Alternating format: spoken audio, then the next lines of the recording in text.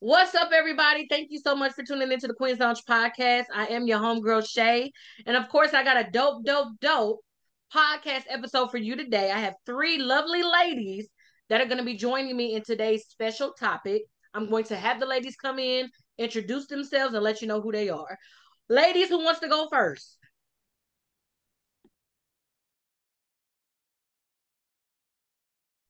We'll start at the corner. Shalante, let the people know who you are, ma'am.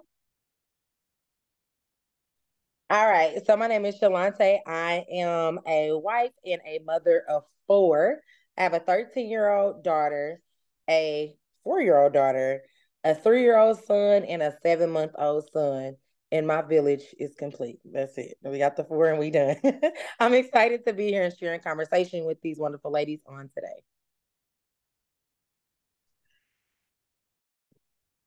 Thank you so much for joining us. Sis, Tam, let the people know who you are.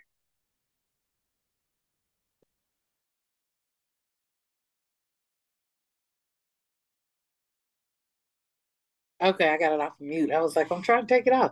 I am Tam James, mother of three. Um, the oldest is 22, Kiana is 18, turning 19, and Zaria is four. So today's topic will be very, very interesting. Absolutely, since you have kids that are in multiple age groups. And last but not least, Auntie, let the people know who you are.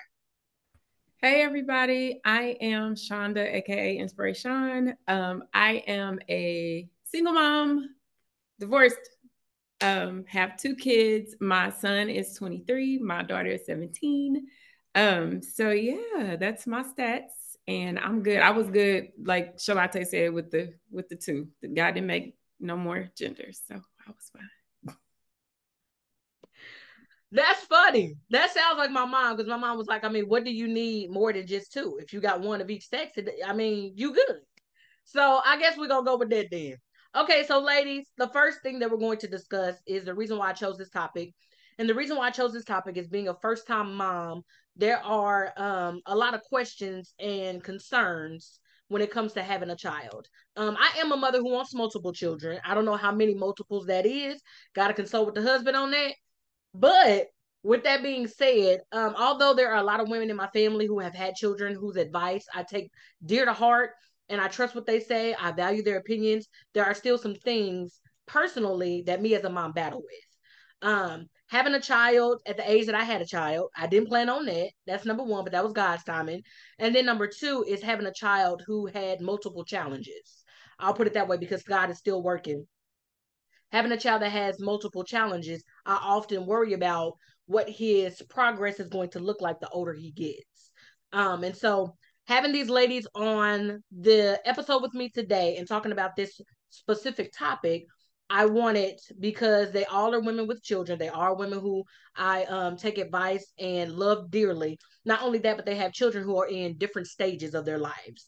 And with that being said, we're going to dive into the childhood of our children. Okay. Uh, Sis has the youngest one. Shalante has the youngest one. Her youngest baby is seven months. Then it'll be me. Then it'll be Sis at the bottom. She has a four year old, and then Auntie Shonda is the one. Her nest is clear, honey. Okay. She has a uh, young adult or a young teenager. So we'll get into that as well. So with Khalil, um, everybody's familiar with his story. Everybody's familiar with how he got here and things like that. Um, I struggle with infertility, and with that being said, my husband and I had to do um, infertility, you know, shots and all that good stuff. And then we produced our son. Um, I had to have an emergency C-section because he was stuck in the birth canal. So I had to have an uh, emergency C-section. When he was born, he wasn't breathing. His breathing level was very, very low, and it was around 20, 25 percent of breathing.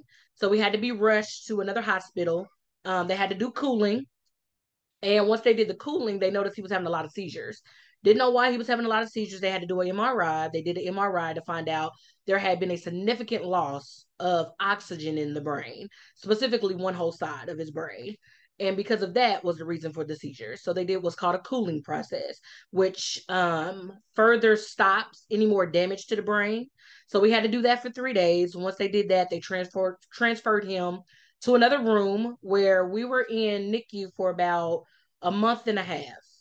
Um, once they did that, they wanted to make sure he was breathing on his own. They wanted to make sure they did another MRI to make sure that nothing else in the brain was damaged or nothing was spreading. Um, he was hooked up to so many different things. Uh, people have seen the pictures if they are uh, friends of mine on Facebook, but look at him now. He's 14 months, breathing at 100% on his own. Um, he's not walking, but he is yet on his way to walking. Um, he's talking. So I know when he gets ready to form words, he's going to be a kid that you have to tell to be quiet because he loves to talk. Um, but I could not be more grateful for the child that I have. And oftentimes, when it comes to a blessing, it's not wrapped up or packaged up in the way that we were expecting. And so we don't consider it still a blessing because of the way it looks or it didn't come the way we wanted it to. So we demise or, you know, kind of shun away what the blessing really is. But I'm so grateful to God that He's still here. I'm so grateful to God that um we are allowed it the opportunity to be his parents. Um, my precaution would be um, setting him up to further his progress because of his challenges. My pre my precaution would be to make sure that he's at every doctor's appointment, that he's at every therapist appointment, that he's at every um, appointment that's necessary to continue his growth. And so um, I don't think without science, without medicine, without God, that uh, he would have gotten this far. So I'm extremely grateful, and we are excited to see what God is going to do next. So that's my birthing story of my son at this age at 14 months. So, yes. Sis, you got a seven month old. So let us know about BJ, or not BJ, about uh Braden. okay, so um like you said, Braden is my youngest. Um, Kennedy is my baby that came without any pain. She was six when she got to me. Praise God. Um, and I had Kaylee um, C-section. She was stuck in the birth canal as well. Um, and it sent me on a downward spiral with postpartum psychosis, postpartum depression. I did not want any more kids. I didn't want to look at kids. I didn't like the word kids, any of that.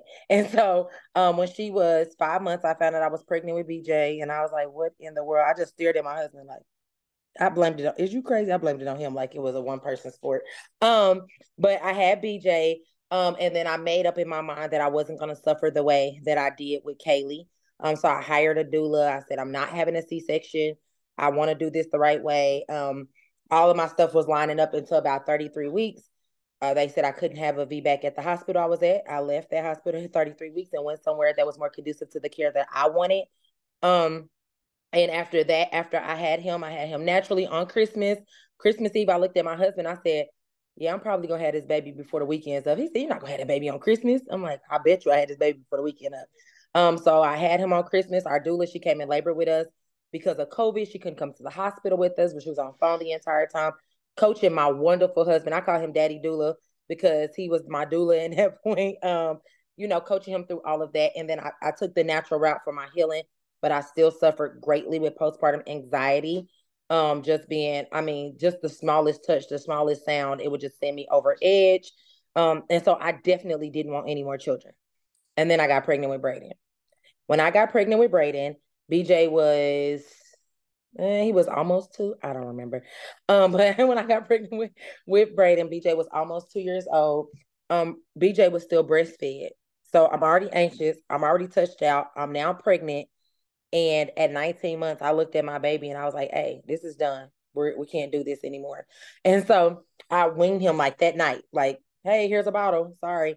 Um, and that left me in a space of being resentful that I was mm-hmm. pregnant again. I had a lot of resentment.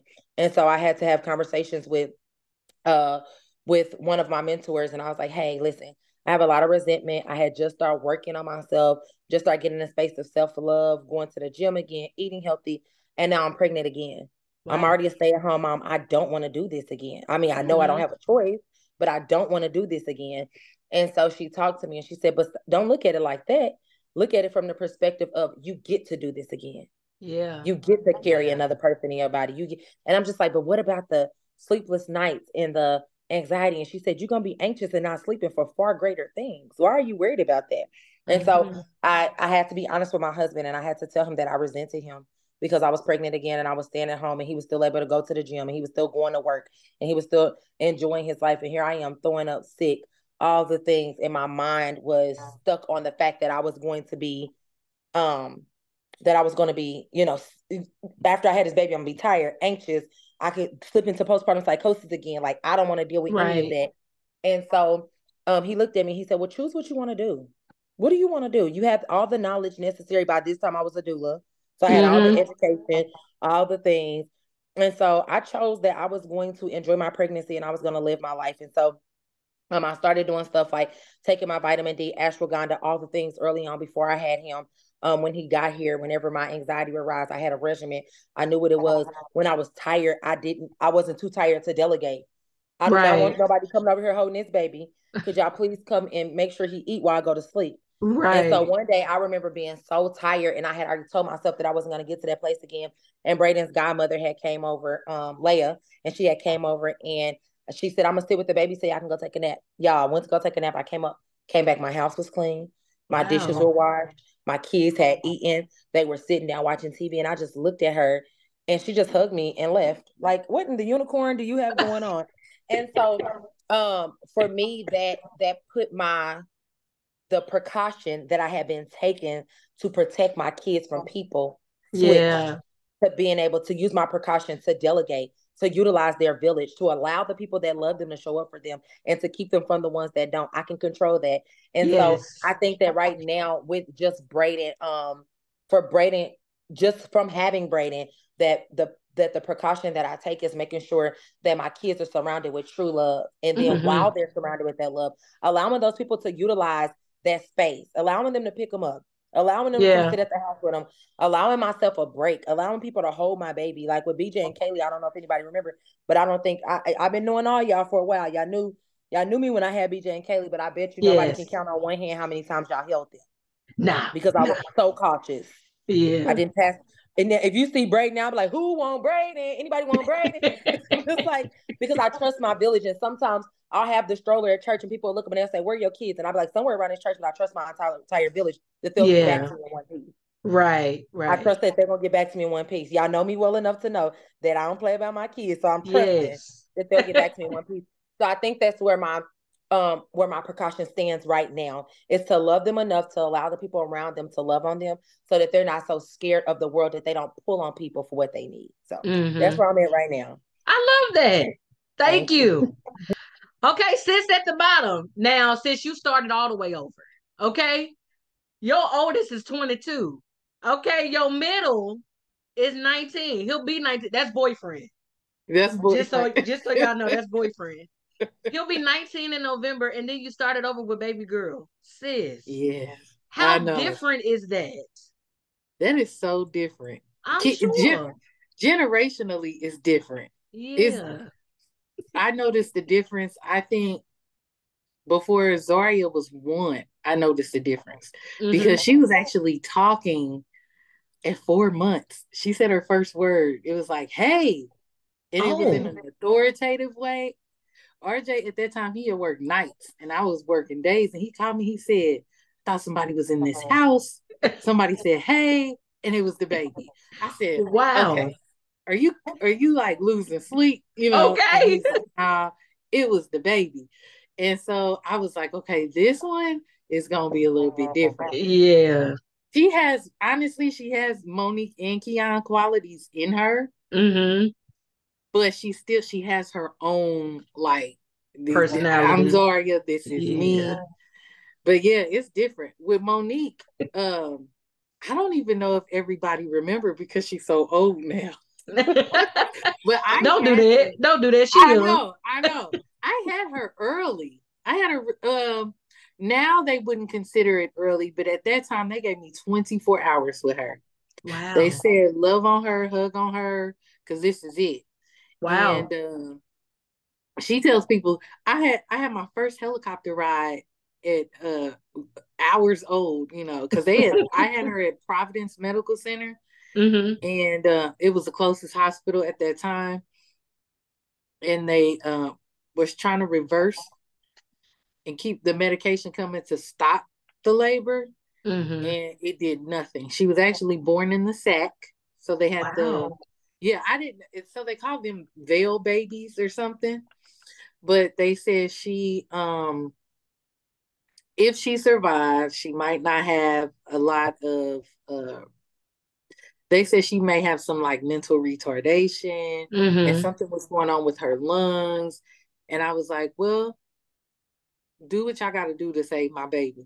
And Yeah. we'll talk. Let's take one minute. Let's take a minute by minute. I wasn't even at that point, I wasn't even taking an hour by hour because I was a teen mom.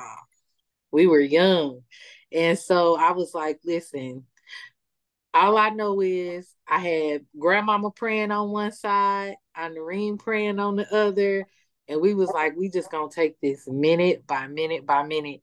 And the next thing you know, Monique was over at Children's Mercy and they were unplugging stuff day by day. And it wasn't because she was declining, it was because she was improving. Mhm. And Monique's uh what they tell me, they said, well, if she survives, you know, we get her. I think it was like into a week of her Children's Mercy stay. They said we we project about six months to a year for her to stay here, and I'm like, okay.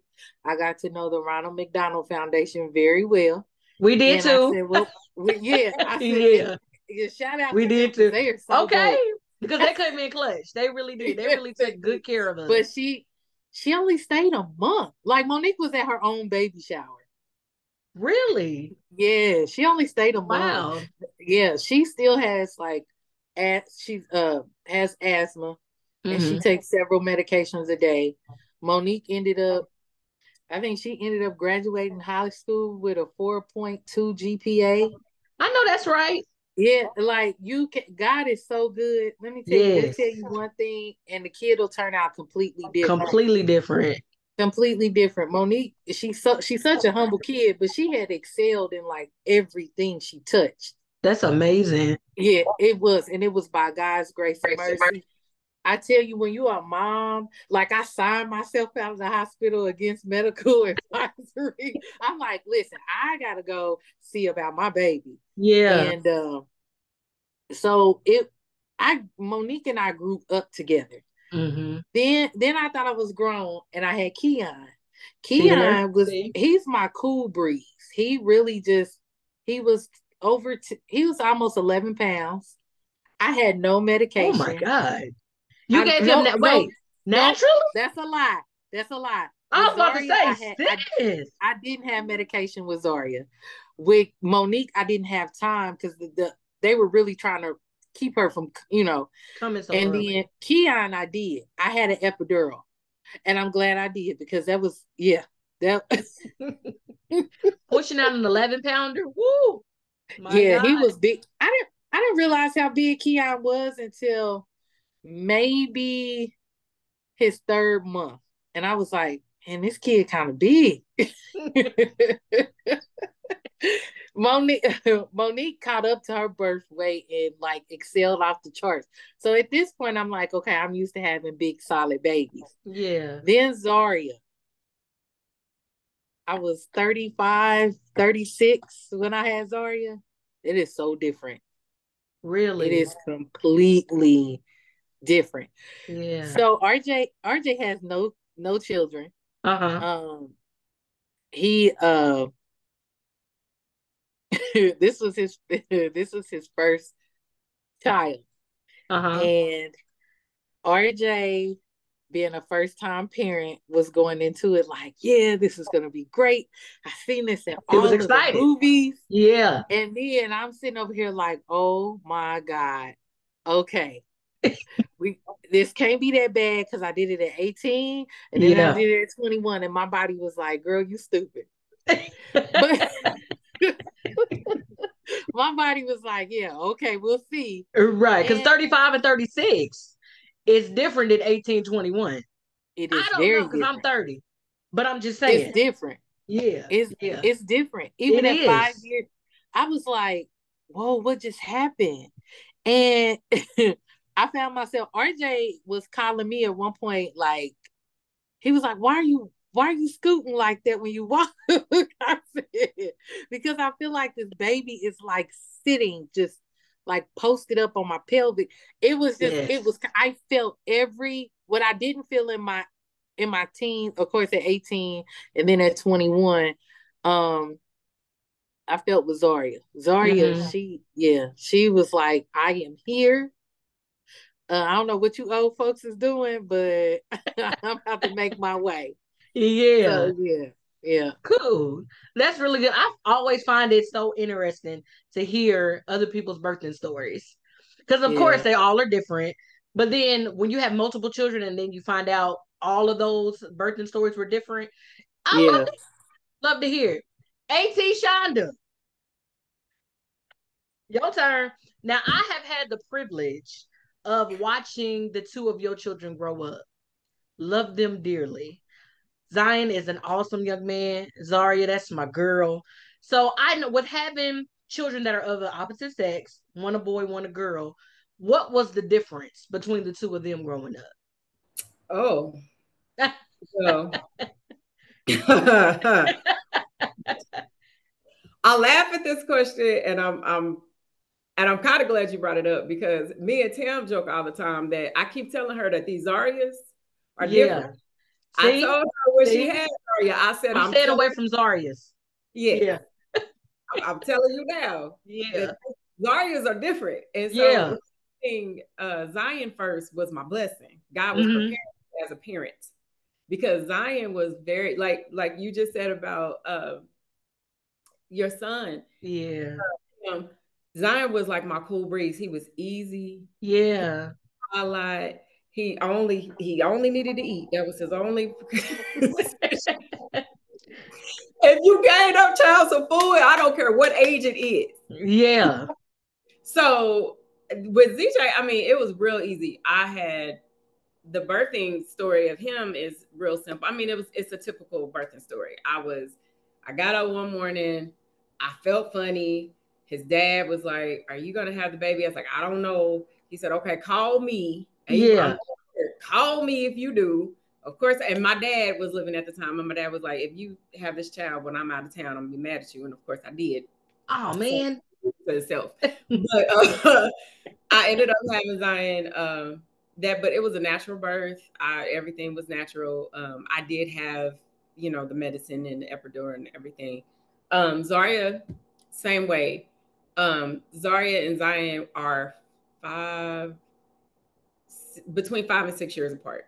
hmm So, um, she was just as easy, except she caused me the most pain. Zion's was easy. Zion, I just did the typical stuff like nose spreading, you know, the feet swelling, all that. Yeah. But Zaria, like, whew, It was Zaria- rough. she hit me all in my side, y'all. I couldn't breathe. And when I was walking, I couldn't. Oh Lord, it was so bad. And so I was like, listen, is there a way that we can like plan for her and kick her out? And my doctor's like, yeah. I said, well, let's do that. Let's Right. Right. kick her out. So we did. I had a. So my only difference from the two births were that I planned Zaria's um out, and Mhm. I didn't, you know, necessarily plan Zion. Um, but when you talk about night and day difference, they are definitely night and day. Generation wise, they're night and day, but Yeah. not. But they are boy and girl. They're night and day. So it's Mhm. just it's been like real fun watching how. Um,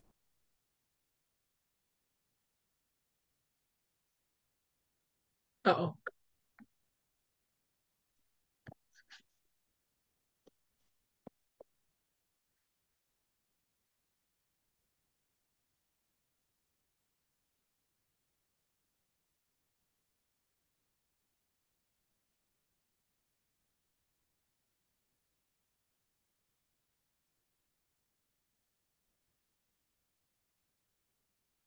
Say something again.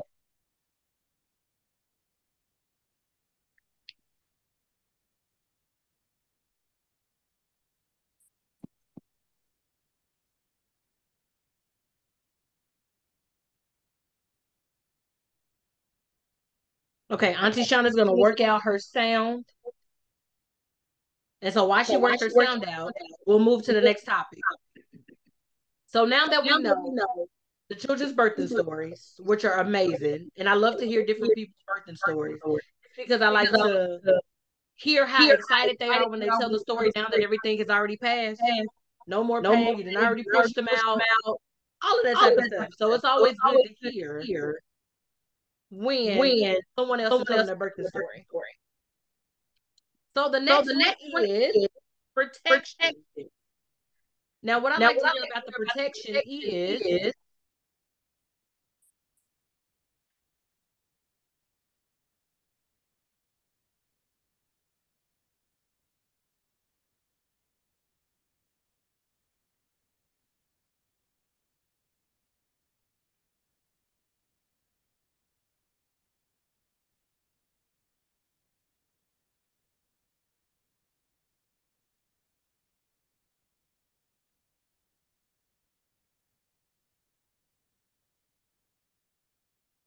All right.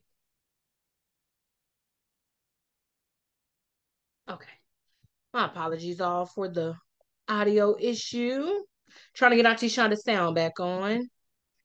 I'm back. All right. So that you all can hear what she's saying. I apologize for the interruption, but thank you all so much for being patient. All right. So the next one is protection. Now that we have gotten all of our birthing stories out of the way, we've gotten past all the hurt and all of that good stuff that comes along with carrying childbirth and all that. Let's talk about protection. Now, the one thing that I want to discuss when it comes to protection is when to protect and when to let go. Now, I know as moms, as parents, we have a tendency to just want to protect all the time, everywhere, each child, even their friends, all of that. It's just something that's in us. It's in our DNA. It's just something I think that just comes with being a parent. It's an automatic thing once you're a mom. It's an automatic thing once you're a dad. Um, it's an automatic thing once you're a guardian. It's just something that's in you that naturally wants to protect. So, in you all's opinion, what do you feel when is the necessary time to protect and to hold close, and when to release and let go and let grow and blossom and experience? Um sis and auntie specifically more so for you two because you have children that are no longer in the house. They're out in college and experience experiencing life and you know driving and they have jobs. So what do you all have to say about that? Sis you want to start or auntie you want to start? I'll start. Okay. I think for me god had forced me to learn to let go Mm-hmm. Um, with my uh, so with Monique when she went off to college, that was the same year that I had Zaria. So my life was ah. changing, like like a lot of stuff was changing. Yeah. Um, and so I had to. I was like super excited. I'm like, yes, she going to college. She going to HBCU. She going to one of RJ and our favorite places. And I allowed her to really pick her own school because I'm like, I don't want to force you into school and you're not gonna stay because it's not something that you wanted.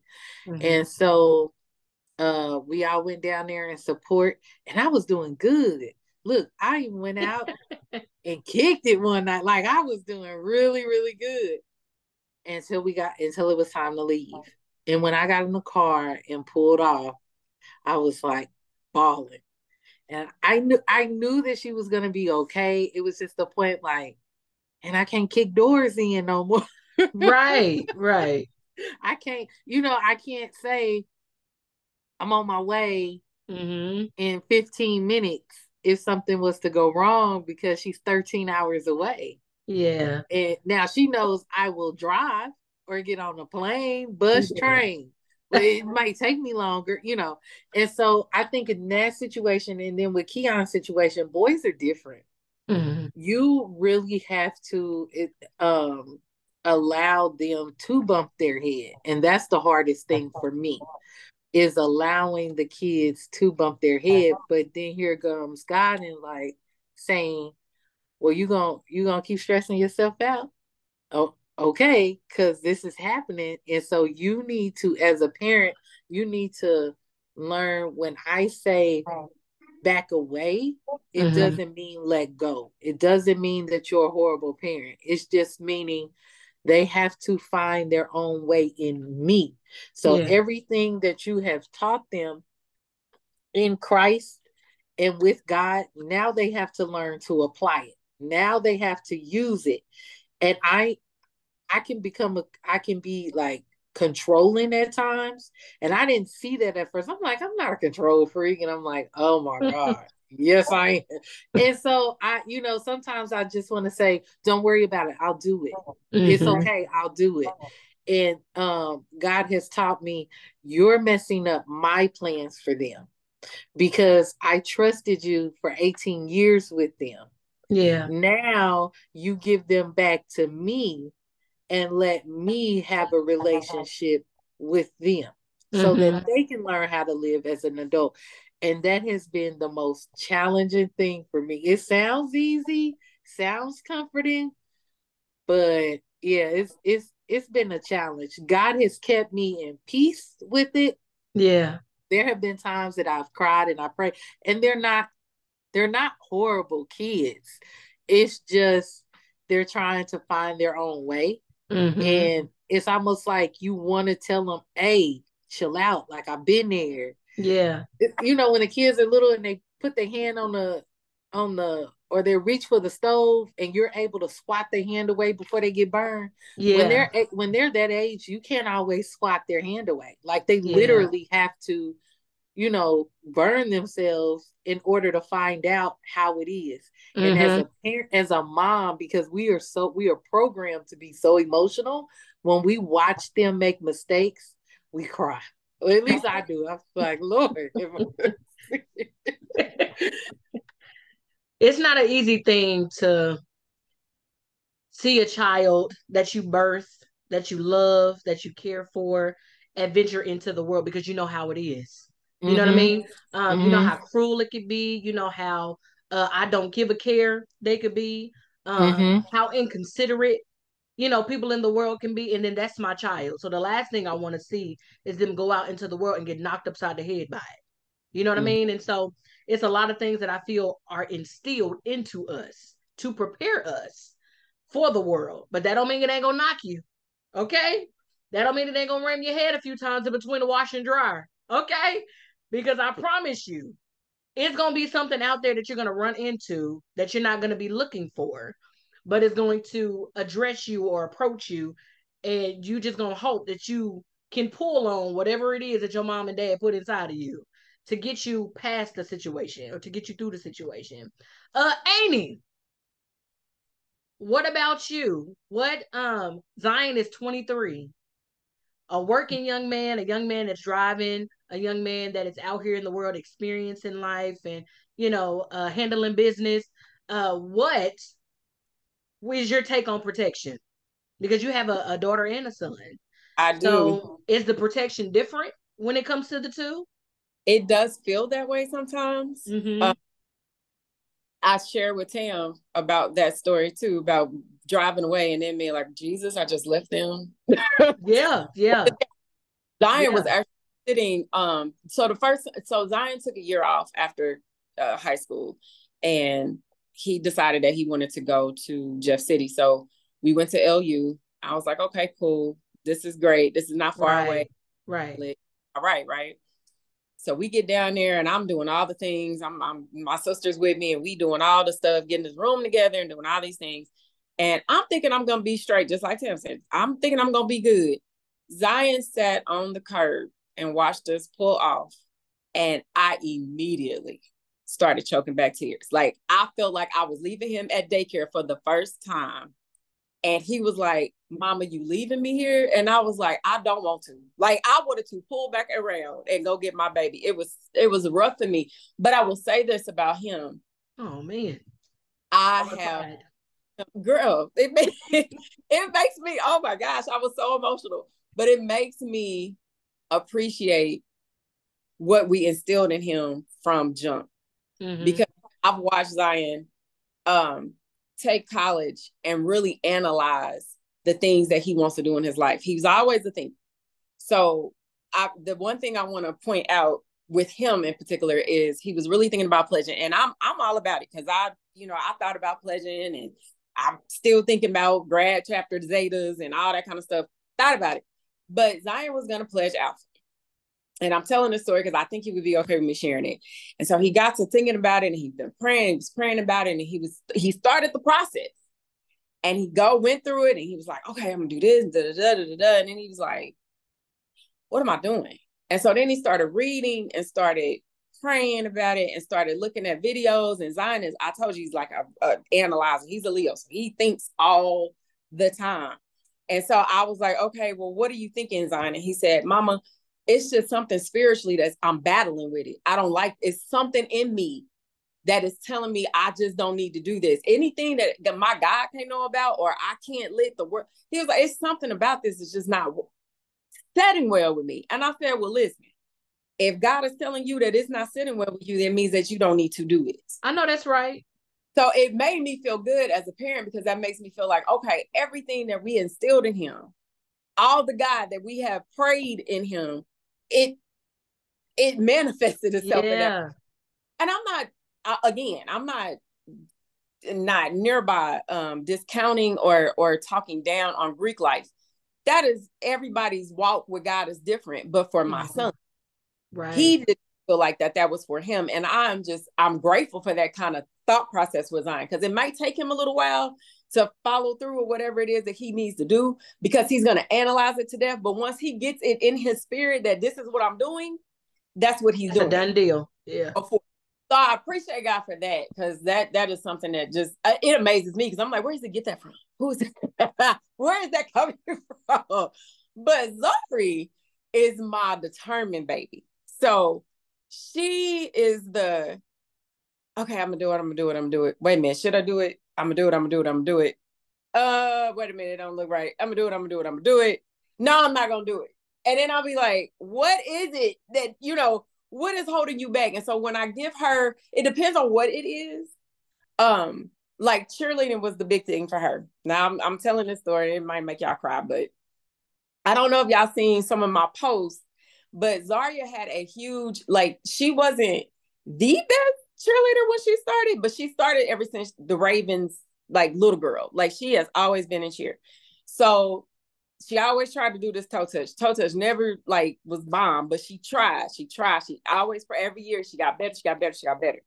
This year, Zaria's toe touch is out here, like legs, feet pointed. It's so phenomenal. But as a mother, what makes me feel good, and I side note, y'all know this, but for those who don't, I'm also one of the coaches. So, as a mom and a coach, watching her push herself every year to get to that point, y'all should have seen her when she first tried out. It was video tryouts, and she was the cutest little, just not ugly duckling, but awkward duckling you've ever seen in your life. Like cute little glasses, little poof ball, all that kind of stuff. And she was just like, Mama, I don't know if I can do this. No, you can. And I, I remember myself not necessarily pushing her for me because I did it, but pushing her for her because I saw the potential in her. And it just made me, it did something to me now. Just, oh Lord, y'all don't want to get me talking about my daughter because I don't know what it is about moms and daughters, but just to see that, that extension of you and and to see that grow and push yeah I'm telling you, every time I look at all the senior things she's doing right now, like there's another picture of her and she's holding the girl up and it's a stunt, but she's holding her by herself in the air, extended. And I'm just looking at her like, this is the same child that didn't even want to jump or try out. This is the same child that was scared. And look at her now, like the the growth in her just it absolutely amazes me. So I will say my advice um and the protection part don't worry so much just give it to god. Because the most the more you pray and and you trust that that what you put in them and what you have instilled around them and and instilled in them that's going to show itself eventually. It may come way later. It may come early. I don't know. I've seen parents that have prayed for their kids for years and finally that child came you know to the realizations that they needed to come to. Or you see them come in church one day? Or you all those things will come to pass, but you just got to keep praying. That's all I'm gonna say. You just got to keep trusting that God is gonna do what He promised you that He will do for your baby. So that's that's my protection because my protection is Him. That's it. The key protection. Uh, I yes. love that. And one of the two things, and it says, I'm gonna get to you. the two things that I like that you all said was protecting them from themselves.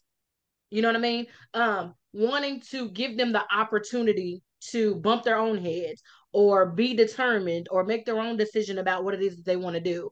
Um, I love the fact that when I was growing up, my mom and dad, they were strict, but they gave us leadway. Mm-hmm. They weren't so strict to where we couldn't do anything, couldn't go anywhere, couldn't hang out or anything like that. But I love that you all that you two were so confident in who you are as parents and who you are, who you get your your um direction from if you know what I mean, to where you'll be able to guide and lead the children that you have birthed and to know where they are now because they're doing amazing. They're in college, they're driving, they ain't in no trouble, they ain't hanging with the wrong crowd. You know what I mean? Uh, when they are in town, they're in church, they calling, checking on you, texting you, talking to you. So I love to see that whatever you put into your child comes back. Does that make sense? I love to see that. Sis, let me get to you. Now, with you and I having children that are small, our protection and level of protection is different. You know what I mean? Uh, Sis and Amy and I have already done their job because their kids have adventured off. They're doing their thing. All right, I gave you the tools you need. Now let's see what you're gonna do with them. With Mm. us, we still trying to do that. Okay, we're still trying to do the installing of putting that into our children, so we can't help but protect. What is Yeah. your give or your take on protection? Because you have four. You have Yeah. a bonus, and then you have three of your own. Yeah. So for me, I would say, um, opposed to, um, you know, them, they're they're prote- trying to protect their kids from themselves in some situations. For me, I'm trying to protect my kids for themselves, Yeah. so that they have something to walk in and stand on as they get older. Um, so That's right now. I'm not. I don't get to say, "Hey, just do this." Like I have to be the protection. Um, so for instance, with Kennedy, Kennedy's 13. Um, and I don't know if any of you know, but Kennedy does not live in Kansas City anymore. Aw, Um, gosh, dog, no I tears. Uh, my baby is over 400 miles away. And so she has, I'm her bonus mom. So she's a wonderful mom and a wonderful dad. But since she was six years old, we've done this thing together. Um, God has allotted um her other dad, we don't we just say other, her other dad, um, an opportunity to do some amazing things. And so with his purpose, there caused a pivot in our family. Um, and so it was hard. Um, and it is hard. We FaceTime her every day. And so sometimes I don't think Brent has noticed yet, but he's hearing me talk, so he's gonna know now. Sometimes he gets on FaceTime and he's like, Hey, you want to talk to her? And I'm like, please do not bring that phone over here because I miss my baby. And so before she left, the protection I gave her was the affirmations um to remind her who she is, that you're going into a new space where you are allowed to conquer that space in the fullness of everything that you are. That's Nothing right. that has ever happened here. And she's a very good kid, makes very good grades. You know, outside of a, a little middle school stuff with friends, you Mhm. know, she there was no, we never had issues with her. And so um you're going into a new space where you get to be all the way Kennedy, fully Kennedy, the nerdy Kennedy that sits and reads books, the the Kennedy that loves what she loves and does what she does, and you get to be all of that. And I want you to go and embrace all of that. Yeah. Like it's it's it's not just a new start for your mom or for your dad or for your brother or for your sister. It's a new start for you as well. And so I sent her off with the affirmations, um, you know, and the confidence of who she is. And I sent her this long message before she started school. And then uh, it was a Facebook post that popped up where she said, um, I can't remember what exactly she said, but it was like an encouragement to herself. And I was able to send that to her. She said that when she was eight years old and it was just applicable to that moment. So now I'm protecting her from here knowing that she's good, she's covered, but God forbid anything happen. yeah. I have I have flight I have a flight credit that I will not touch because it belongs to those 446 miles. Okay. I know that's That's right. That's what it belongs to. It's a round way, it's a round way trip. Okay. a few trips if I book it on the right Tuesday. You feel me? So, Right. I feel have it, we have it locked and loaded. Um, and then we have the the plans. The plans are, you know, in the works for her to be able to come here and do all the things, but it's so hard because she is 13. And but that's my dog. Like, you know, uh, I mean, when I say locked in, locked in, and that, Okay. that took us a minute because we didn't used to be like that. So there was a lot that I tried to pour into her that she was not receptive of because I'm not her mother. Right. But then somewhere down the line, the appreciation grew for for who I am in her life. as Mhm. an addition to the amazing mother. I'm like, do you know how fortunate it is that you got four amazing parents? Like you don't got like a half of a parent. half- You got four Right. whole Whole parents. parents. And so I'm able to pour a lot into her. Um, and not even from a perspective of just her as my daughter, but who I'm able to pour a lot into her as a woman, as the woman she's gonna be. She's Yeah. 13. I'm gonna look up one day soon and she'll be graduating. And Yeah. I, and I want to, I want what I have poured in her to be able to come out. So I'm Mhm. pouring, pouring, pouring. She probably like, mommy, don't send me another text, an affirmation, uh, you looking in the mirror, record nothing else to me. Okay. Right. But I'm trying to pour into her so that I'm not protecting her from herself, but I'm protecting her for herself. So that's the thing with her. With the youngest three, um, I was a stay-at-home mom up until August. So um in June I started a job. The kids were going to the church summer camp um where their dad was and uh Braden was coming to work with me. Um he still comes to work with me until October the 2nd. I cannot wait. Uh, but um the protection looks different for them because they are so younger. So for instance, Kaylee started school uh August the 21st. It is September the 23rd, and she no longer attends that school as of last Monday because Okay. of what I've no what I noticed in her.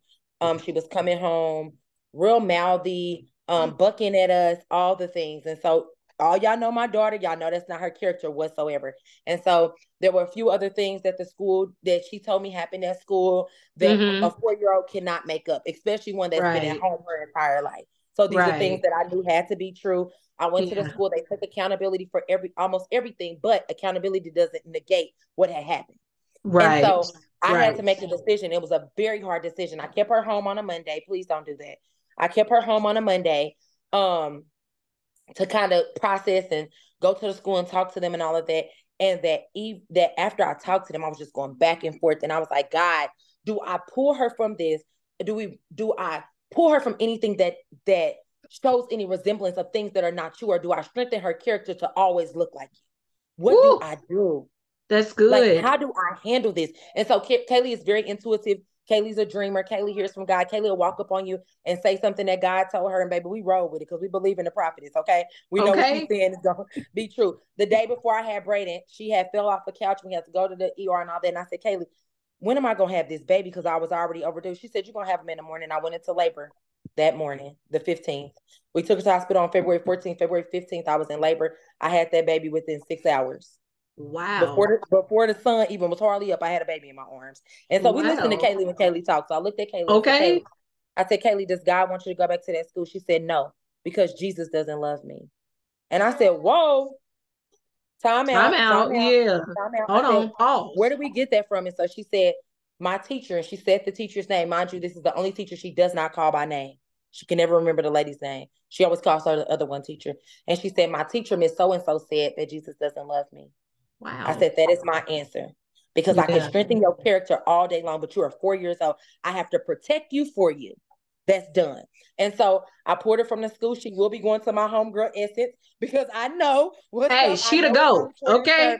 She to so go my- to schooling. Okay, do you hear me? So it was my. I can't wait till Khalil get that age. Listen, because I, I when I went over there just yesterday to kind of you know look at everything and see all the things, my baby who only sits up turned on all fours and attempted to crawl. He picked up a toy, fixed it to play with. I said, God, you ain't got to show me nothing else. The atmosphere is conducive for growth. My kids will be here. That's what it, that's what it boils down to. But anywho, so I was concerned. So one of my biggest concerns with pulling her from the program was that she wouldn't be able to go to University Academy because she's in their pre-K program. And so. I'm mm-hmm. like, dang it, Lord, I know you said she was supposed to be here. But if you're pulling her from that, then I believe that you have something greater for her. So it is what it is. The lady emailed me. She said, go ahead and pull her from the program because you're right. That school does not match the character of who we are. She'll be fine for kindergarten. Your boys are still legacy and fa- University Academy is always home for them. So I ain't got know no concern. right. But it took me buckling down to protect them. I mean, I, I told my husband, I said, listen, when it boiled down to it, I'll pull everybody from school, quit this job, move off grid, raise my kids, and bring them back from the wilderness when they ready. I'm not playing when it comes to mine. I'm not playing because I know that there is something far greater in them. And I and God told me a long time ago, like people say, my kids this, my kids that. I call them my kids. Yes, I say that, but they don't belong to me. I have Yeah. one task. My only task is to put in them what God has told me to put in them so they can be who God wants them to be. That's it. That's it. Period. So if anything that I do is contrary to that, leaving them in schools that they shouldn't be because I want them to do something, anything that I do, if it's contrary to what God is telling me to do, then guess what? I'm out of line. Yeah. Because their life is not my, this is not my life. My only obligation to them is to love them and grow them in the way of the Lord. And then when it's time to go on, still mentor them from the background, let the Lord have his way with them. Yeah. But that that, that means making the hard decisions to protect them. That's My baby it. came home, didn't want to say her grace no more. Nope. We're done. Because Yeah. all things, all things God. It may look good, but if it ain't God, it don't work for this house. So 1827 dwells on God and God alone. And when it comes to the Lou crew, I'm protecting you from anything that don't look like God. So all Okay. the stuff that the world try to throw at them, and I know I can't protect them from everything, and I'm not saying that, but what I can do is be a safeguard for it. So I'm That's not it. protecting them from themselves, but I'm protecting them for themselves. And I'm gonna go, I'm gonna mute my mic because I'm gonna start going. Okay. Cause listen, I'm a shout. Period. Cause I'm gonna shout. Um, I'm gonna make this real quick, then we're gonna move to the next one. So when Khalil was in the NICU, and I'm also glad that I have a village that protects because when you have when you can't do it on your own or when you're in the midst of going through a battle and you have people that are on the sides in the background in front of you that can protect you as well as what it is that you just produced, that's even greater because that means the enemy ain't got no room to get nowhere. So we Khalil's in the NICU. They are uh kind of like gathering all the information, gathering all the paperwork to get ready to release them And so there was this particular caseworker, and she started off nice in the beginning, really sweet, really kind, gave us all the information we needed to know to further Khalil's progress and things like that. And so uh it was a, a incident where we were in Khalil's room. It was me and my mom. Son was asleep. Me and mom were, you know, conversing, talking. She comes in the room and she finds out that Khalil is getting ready to be released. And so the only thing that could come out of her mouth is, well, we don't know what his process is going to look like. We don't know if um he's going to, you know, make it past a certain amount of time or a certain amount of years. And the only thing I heard her say, the only thing I heard her speak out of her mouth was death. There was no life in her voice. And it ticked me off.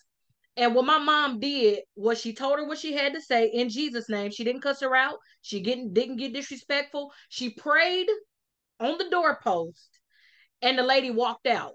Do you know from that day on that lady never came back? Never came back. She never came back.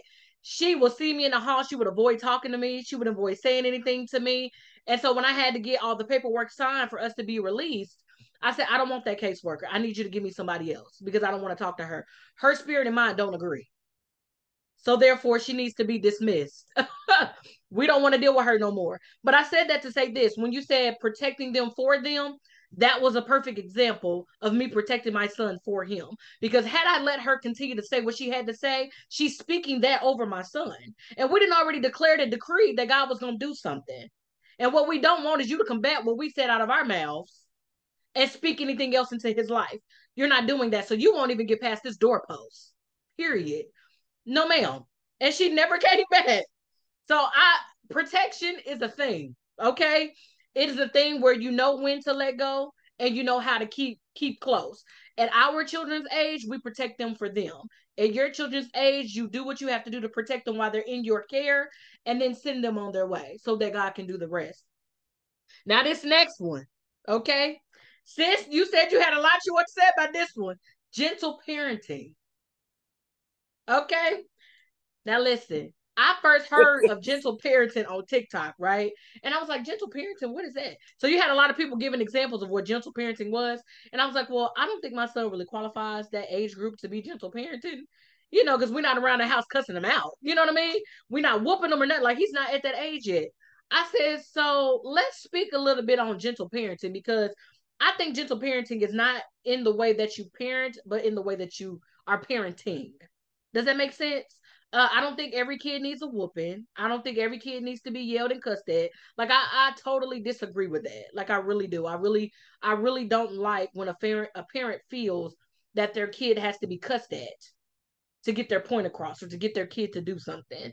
Uh, sis, you got a four year old who has a big personality. what is your take on gentle parenting? uh, so RJ, okay. So let me before I get started on that, let me go back just a second because that touched on this morning and last night, RJ said the enemy comes in so many different forms. Yes. And he will he will form himself into people just to make his way into your life.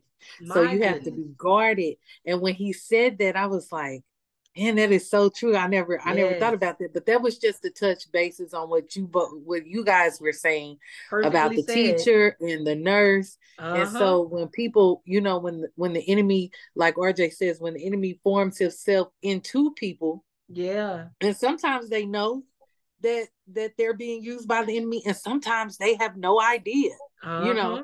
And and so he said we have to be mindful and aware, you know, uh when those situation arises. But I'm glad that you guys heard the call and did what y'all had to she do. had to go. Now, as far as gentle parenting, that qualified RJ, I would I would honestly say RJ is a gentle but stern parent. Me, I didn't grow up that way. So it's hard. The transition is very, very hard. I was so hard on my son. And there were days that now that I am older and I'm doing this all over again with Zaria, there are things that I see that was my fault. Mhm. And I was just so big on being stern with him because I was a single mom.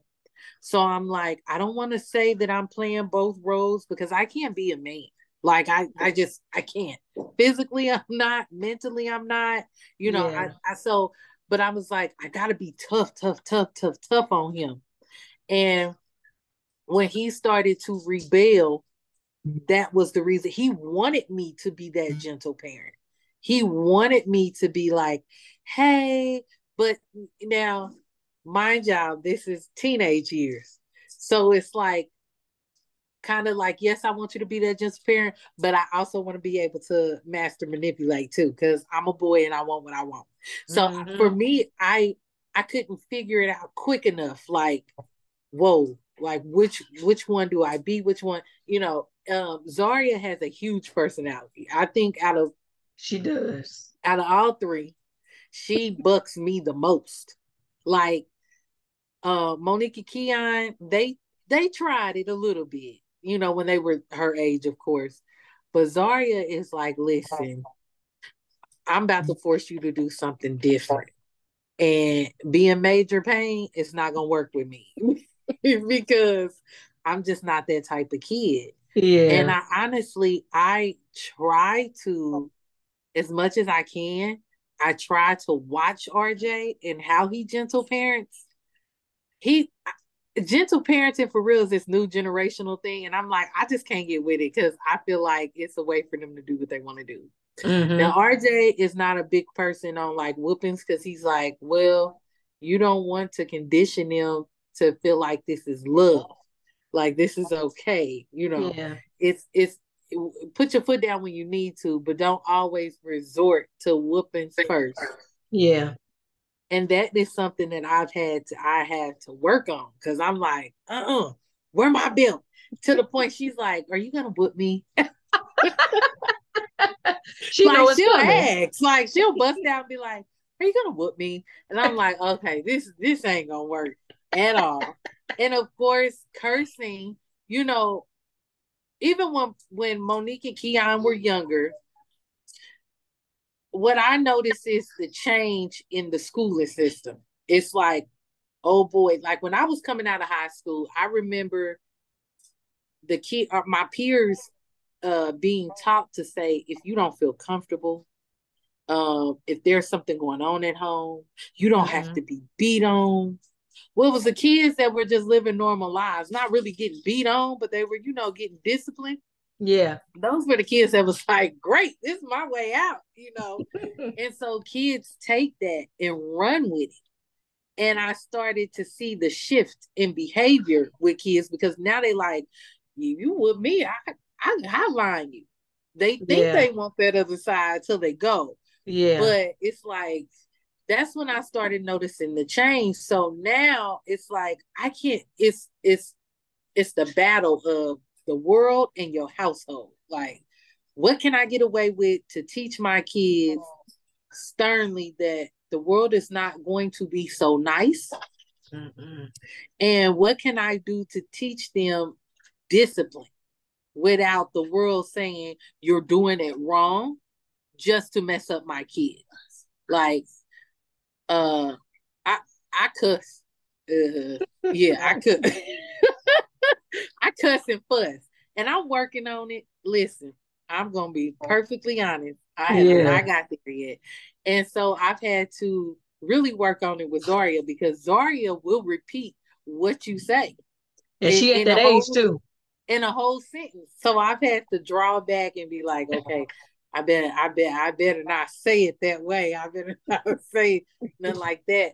But I try to, I really try to step back and watch. And sometimes I've even said, man, I wish I was the parent RJ is now, back when Monique and Keon were little.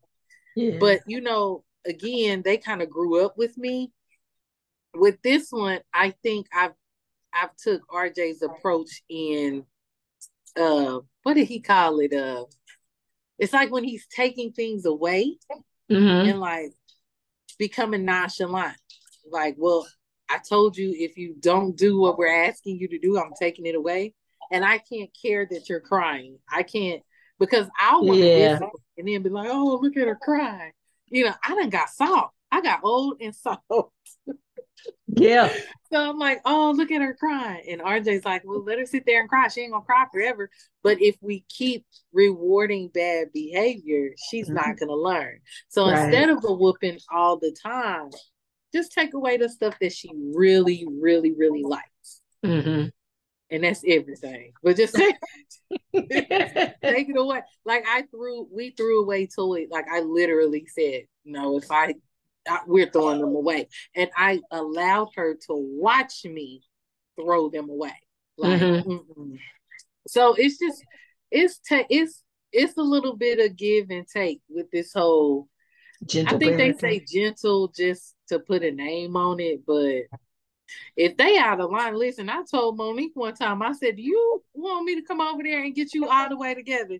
Because you tw- you you being twenty two means nothing to me. But see, yeah. that's because I was raised by older people that would say mm-hmm. and do things like that. Yeah. And so I'm like, you being 22 means nothing to me. Like I will still put you where I need to put you. yeah. but no, I, I mean, I get some of the concept. You know, you don't want to whoop whoop whoop all the time because they be, Mhm. they become accustomed to it. But some of that stuff, I'm like, nah, they they need a good laying of the hand. Yeah. Sometimes it's it's necessary. You as a parent know your child, so you know what it Yeah, is that you yep. can do as a form of discipline. You know what I mean? Sis, with you having three little ones, I know there's some gentle parenting over there.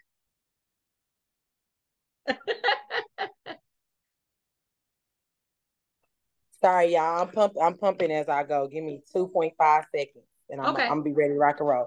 Bet. Here you go. Amy, let's go to you. With Zaria being 17, nephew being 23, and them having a, a nice little age gap in between their ages, what is the difference between parenting Zion and parenting Zaria? Is there any gentle parenting in between the two since they're in two different generations? Was gentle Um, parenting even around No, when, when no, Zaria was was No, a baby? no, no, ma'am. No, no, none of that was around. Um, honestly, I always patterned my parenting style off of a little bit of what I learned from my parents. Um, but then with a twist, right? So a Mhm. little bit of what I felt like should be. So I, her father and uh, their father and I always believe that you know they should have some sort of a conversation with us. Like they should be able to talk to us and they should be able to express themselves in some kind of way. Um, Right. respectfully. You know, we Mhm. we both agree to that. Um, now the older they get, that's when we started kind of like seeing differently on that. But at the most, you know, we we always agree that they should have at least a a time frame where they can talk to us about how they feel about what is happening and then we you know acknowledge that and then we come to some kind of a, a solution right. by the parent. Now, what is weird to me now is that, um, and and nobody's talked about this, and this is my little parenting uh issue that I have. I have a lot of mom guilt because when you ah. are a mother, when you used to be a mother who was completely married, so I was married for 19 years. So with Zaria, Zion kind of graduated right as we were, you know, getting the divorce. So he was pretty much grown and yeah. out the door. But with Zari, I found myself doing all the things. You know, I think I try. I probably did try gentle parenting at, at a point just so that she would not feel like, you know, oh my God, the world is coming down on me. You know, I was really trying my best to like make it all happen for her. Like mm-hmm. probably overly spoiling, probably, you know, trying to make everything rosy and all this kind of stuff because it was just so much. And um I remember giving myself permission to say, wait a minute, let's let's take a step back. Yeah. And let's look at this thing because what you're not gonna do is let her talk to you like that. What you're not right. gonna do is let her walk around here and not do her chores. What you're not gonna do is raise her to think that the sun revolves, sets and rises in her behind. That's not what we gonna do. And yeah. remember who you said you was gonna raise her to be. And when I finally kind of looked at that, and I was like, oh yeah, no, we gonna have to. And I have a lot of mom guilt. I still do. Mm-hmm. I still do. Um, but I don't let that rule how I parent her. Yeah, because uh, Zaria is the same way. You know, she's she's the mouthy one out the two. She's the one that'll say what she feels, and she's the one that'll give you her opinion quick. And I don't mind that, but I've always had to teach her, okay, watch how you watch your tone. You know, yeah. watch how you say certain things. Um, teaching her how to be considerate when she gets the things that she wants. You know, like this don't have to happen. This is happening because I love you and I yeah. want you to have certain things. But see, those type of things come into play when you when you are actually consciously parenting and not just, oh, I just, you know, like like Tam was saying, is I know I have things to work on, and I always tell my kids that. That's one thing that I another thing that I might do that's maybe gentle parenting. I'm quick to say, you know, mama wasn't right about this. Mm-hmm. I was upset at this point. I was angry. I'm dealing with something today. I'm not mentally okay, whatever the case. And I'll tell them, you know, I'm sorry. I didn't mean to take Zaria gets it more than anybody has ever gotten. So me and her always have that that mm-hmm. camaraderie because she can tell me when she's not mentally okay. Like I'm, yeah. I'm not feeling today. Can I stay home from school because I'm just drained? Like not necessarily tired, but I'm mentally just frustrated because this is yeah. going on and that's going on. I can understand that. And then I'll be like, no, she needs to, you know, she needs to have this time to herself. And I do the same thing with her, or I can tell her, Mama had a hard day, or I'm upset about this particular thing. Maybe not right now, talk to me, but talk to me, you know, give me an hour. Yeah. Or I apologize because I went off on you because you came to me at the wrong time frame. So to me, that's just parenting because yeah. according to what I went through when I was a kid, I wish my I listen. Gwen would have told me, uh, ma'am, I don't give care nothing about your feelings. Sit your tail down somewhere. Go tell, go do what I asked you to do, and right. talk to me after that's done. Like, right? Uh, uh no, that was not a thing. So I feel like I adopted some things, and I do feel like some things are necessary. But I feel like all the things work together if you do it in the right way, and you got to know the right formulas for each child. Every child right. is not the same. Right. So you gotta you gotta know the formulas for each kid because I could not parent Zaria the way I parented Zion. Zion right. was easy. I didn't really have to say a lot. Zion knew my expectations from jump. Zaria, I got to say it thirty thousand times, but she, but she'll do it eventually. Yeah. But you know, I, Zion was the pe- pleaser. Zaria is not necessarily the pleaser. You know, so it's things like that. You have to know your kids and their personalities. Absolutely, that's for sure. Sis, you got three little ones over there. I know you done done some gentle parenting at one at one time or another. So gentle parenting, this is my um my scope of practice. Um I have I I this is actually I actually was on and had a conversation with somebody else about uh gentle parenting. Um mm-hmm. and this was at the height of me being a gentle parent. So I had Kaylee when I was 28 years old and I had her a couple months before COVID started doing its thing. So by the time Kaylee was five months, we were locked in the house. Everybody was an expert on everything on TikTok. Right. Everybody was trying to be healthy, eat herbs, use, use essential oils, Okay. be patient, be kind. Everybody was going to therapy. We were healing our inner child. Like the We world was reset or something. Like our parents, like all of that happened as I became a parent. Yeah. So for me, I got it a little different. So I had all these tools and things like that. And I followed a girl, I follow a young lady on TikTok who takes her time, you know, with her child and all of that. And I love the, her relationship with her daughter. And so I took a lot of that stuff and I implemented it. Um, I don't, I, I considered myself a gentle parent. And then Brent Matthew Lewis Jr. was born. Um, and so I, I he, um, he he challenged me. He's a no limit soldier. Okay, um, he's definitely not a gentle kid. Um, he knocks my head sideways on a daily basis, not physically, but emotionally, spiritually, and all the other things. Um, and so I had to pivot the way that I parent. And for Kaylee, when Kaylee was really small, I used to look at her and see a lot of people. They believe that gentle parenting is kind of just going with the flow. Uh, Gentle parenting is a lot of it is child led, all of the things like that.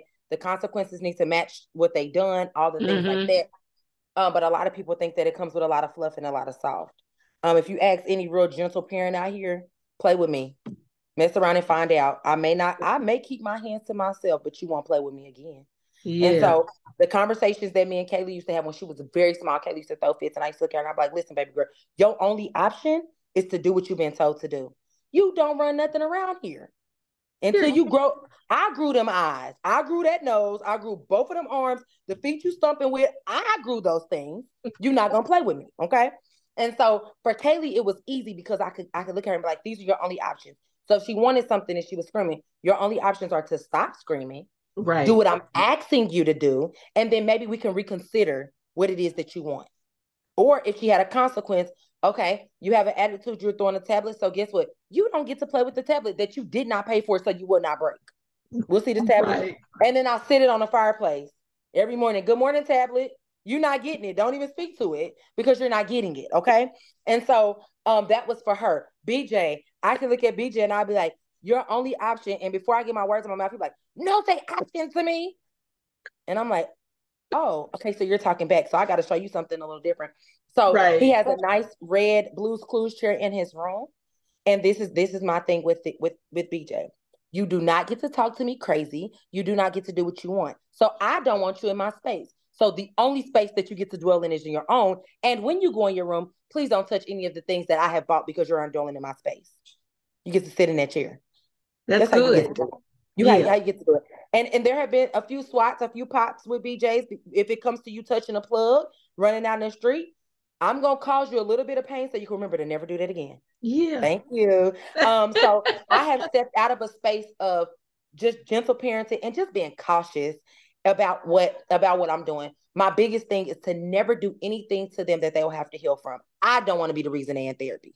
Yeah. I don't want to be the reason that they have to heal their inner child. I don't want to be the reason that they're 28, 29 years old looking in the mirror. You are strong, you are kind, you are worthy, you deserve. Uh-uh. I ain't doing none of that because I'm gonna speak life into you, but I'm also gonna correct you. So that when you go into these schools, you're not the kid that the teacher, you know, maybe having a bad day and has to body slam. You would never be put in a position to do that because I'm teaching you now. And so I was, I'm telling you, I was a strong advocate for gentle parenting and what they look like. And I still am. I believe that everybody should. I think that what we're running into now is there are a lot of people who gentle parent, a lot of people who are cautious, cautious parenting, and then there's people who don't do any of those things. They are no limit soldiers. Their kids are no limit soldiers. They nucking and bucking. They'll elbow you in the eye. And they're not gonna play with you. And I feel that what we all should do as parents is mind our own business. As long as these people ain't skull dragging these kids, beating them up, cussing them out, throwing them out the house, doing all those things, as long as their parent is providing a safe atmosphere for a person to grow. Because, like I said, they don't belong to us anyway. We don't know why that child is a no limit soldier and the mama gotta whoop your butt every blue moon. That ain't my business. You ain't Yeah. them back with black and blue. I, I'm a firm believer that it's our responsibility to protect all people young. But if, if I mean, you know, hey, parents should parent how they want to. And I think what we're running into is that parents are feeling like they have to do something different because people are saying, if you don't do this, like people people have said to me, putting kids in timeout is a form of imprisonment. Well, th- there you don't call him Brent no more. His his name is number five seven two eight six. He's an inmate at my house. Call him what you want. He gonna go to timeout. Okay. You know, and so and that's just what it boils down to. So what I'm learning is that I have to do the things to parent the way they need. Um, and then also pausing. If what you are doing is making me so upset that I want to whoop you, guess what? I'm not going to because I'm not gonna take my anger out on you. Mm-hmm. There was a time I can't. Oh, Kaylee. Kaylee took her seatbelt off in the car, and I've told Kaylee time and time again, do not take your seatbelt off in this car. You stay in your seat. Five port harness, completely connected. Kaylee took her seatbelt off. She was in the back kicking it. Mm, I said, "Are you having a grand old time?" I said, "Get back in your seat." She got in her seat, screamed a little bit, halfway buckled it. I said, "Okay." We got home, and she thought it was good. Mom, we about to watch Bluey. No, you're getting a spanking. You're spanking me? I am. Because had somebody hit our car, you could have flew through the windshield and we would be planning your funeral. Right. So I bet you'll never take that seatbelt off again. But that Right. came from me. All this a parent, parent where it matters. You know, parent, parent how it matters and do what's best for my kids. Kaylee, she may we may get to a parking spot and she takes her seatbelt off as soon as we park. But I can guarantee you, if we go on 71 South, she ain't taking no seatbelt off. Never Right. again in her life. right. And that's just what it boils down to. And so I would encourage all parents when it comes to gentle parenting to do what works for you, but Mhm. pause to make sure you are not the reason that your kid has to heal from trauma and that your your discipline does not come from um you just being angry because gentle parenting is not without discipline. I honestly believe that to gentle parent, your discipline, your thinking on discipline has to go to a whole nother level because I can't just whoop you, because I Yeah. can't just fuss at you, because I have to sit down, come up with something that works for you so that you don't do these things again. Parents who whip their kids for the same thing all the time, we probably need to figure out a new game plan. right. I can guarantee you one thing. Kaylee touched a plug one time her entire life. Kaylee does not touch plugs. Why? Because I handled it. I nipped it in the bud. She received the discipline for it that one time. BJ's discipline was different, but do BJ does not touch plugs. Why? It took me one time to do what worked for him, recognize who my child is, recognize that we're talking about the same kid that would jump from the top of the stairs down on hardwood floor. He don't care about nothing, you know. And so I and so I, I assess the situation on how I parent each kid differently. Braden is seven months old, and guess what Braden does? He throws fits.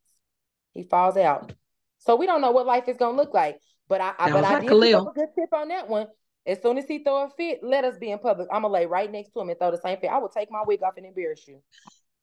Bet you won't do it no more. But I think we all just have to pause to just do the things that cause the, our kids to stop doing the things that are unnecessary. yeah. What type of discipline causes you to stop doing the things that are unnecessary? The older they get, they may be harder because we all make bad decisions. If I had a bruise for every time I bump my head on the same rock, baby, my head would be busted wide open. Period. But while you're small and I'm protecting you for you, gentle parenting and cautious parenting, I'm an advocate for it. I- I'm telling you, it works. It's not without discipline. It's not soft parenting. It's not kids running over you. It's not your kids. Some people think gentle parents gonna be slapped upside the head. It ain't none of that. It's taking the time out to pause to parent that person because they won't always be a kid. Parent the person. yep. I'm listen. I can go on and on about gentle parenting, so I'm gonna go. I'm gonna mute again. Okay. I love that. Um, I'm also a firm believer in parents how you need to, but uh, make sure that it is not a uh internal internal damage that will carry them into adulthood because that's something they're gonna have to sit on somebody's couch and work out. For real. Okay, so my next one's it. My next one is influence. Now, I often hear a lot of parents say that they feel like their influence is null and void because of the bigger or greater influence that's out in the world. Um, I know that there are a lot of temptation. There's a lot of influence. There's a lot of peer pressure. There's a lot of, um, you know, kids that want to fit in. There's a lot of kids that want to do what looks good, what looks popular. Um, TikTok. There's so many things that be on TikTok that these kids be trying and be putting their life in danger. You know what I mean? And same thing with being out in the world. There's a lot of things that are tempting to our young folk or tempting to our children or our kids. And sometimes it feels like the influence is just bigger than what we have to say or what we have to do. What do you guys think about that? Do you feel like the influence is something? I obviously agree that the influence starts at home. You ought you ought to be your first kid's example, you know, on what to do, what not to do, what influences there are out there, and you know all of that good stuff. But what is your take on influence when it comes to your children or your kids, especially when they get around other kids? The older, okay, so I I guess I got to split up my response, but it works for the same thing. So I don't know. Okay, so I'll say bullet point one is music. Music, music is mm-hmm. a, but it's always it it is always have been. And I remember my aunt said to me, I was probably like in my twenties, and this was Aunt Terry, and she said, the next time you go out, because I know I know you, you know, y'all go out, y'all go to the club, y'all have fun. And I was like, Yeah, Aunt Terry, but you know, I'm not like doing wild stuff. I'm really, I'm gonna tell y'all to be honest, the only reason why I like to go out was to dress up. Mm. So, like after I entered the room, I was like, okay, we can go home now. Like my my time is over. I'm like, yeah, this is fun. But she said, I want you the next time you go out. I don't care where it is. She said, I don't care if it's a bar, ladies' night, whatever. She said, don't drink anything. I said, okay, easy for me because I'm not a drinker like that. And she said, and I want you to watch the room. And I said, okay. She said, you know, just observe and watch the influence that music mixed with alcohol or spirits bring. And I said, Aunt Terry, where are you going with this?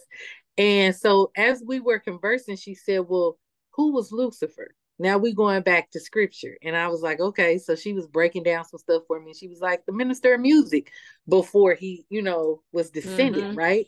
And she said, that is his main gain to like control and if i gave you a gift and you're good at it whatever you're doing you'll be good at doing that you could take that good that gift for good or bad right so as I as I did what she said, I said, "Man, this is so true."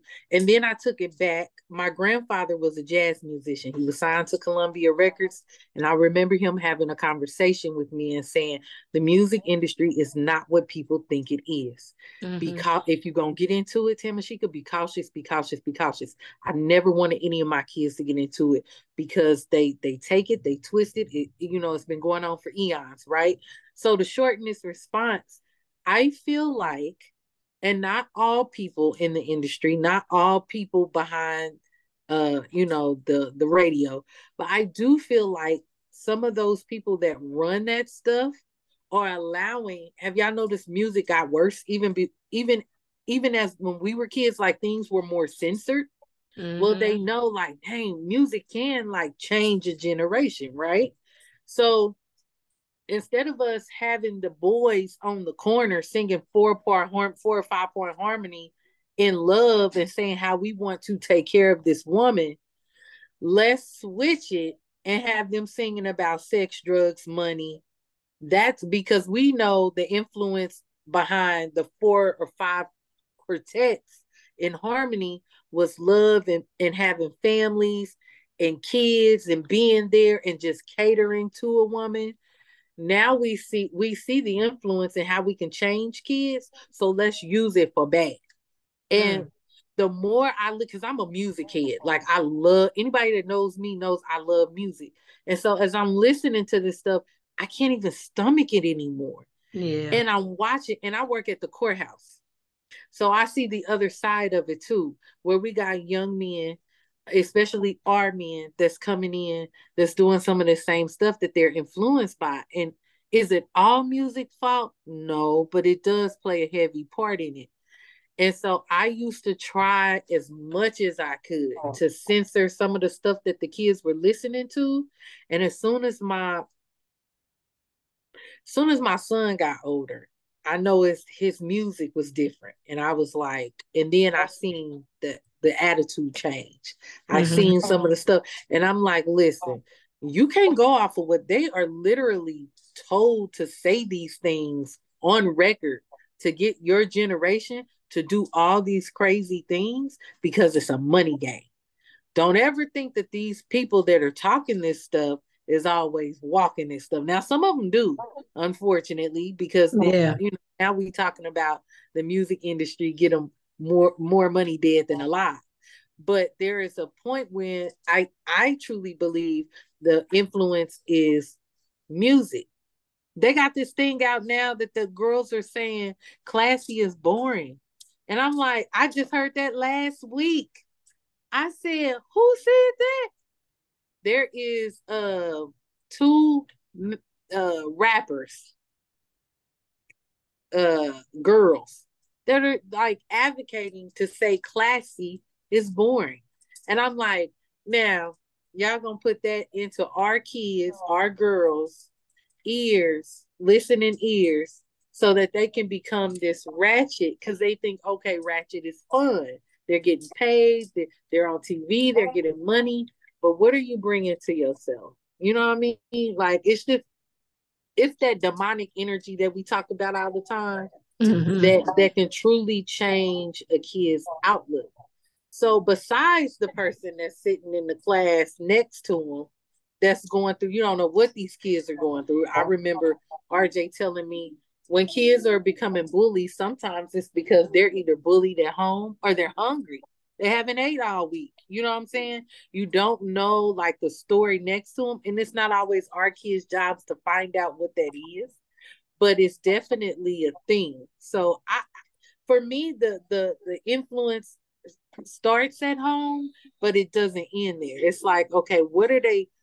Uh, they're being conditioned on these tablets. I've tried to, I've tried to block a lot of stuff out of Zaria's tablet, and it just it, the stuff just keeps popping up and popping up and popping up. I seen a cartoon where the cartoon said, "I want to kill myself."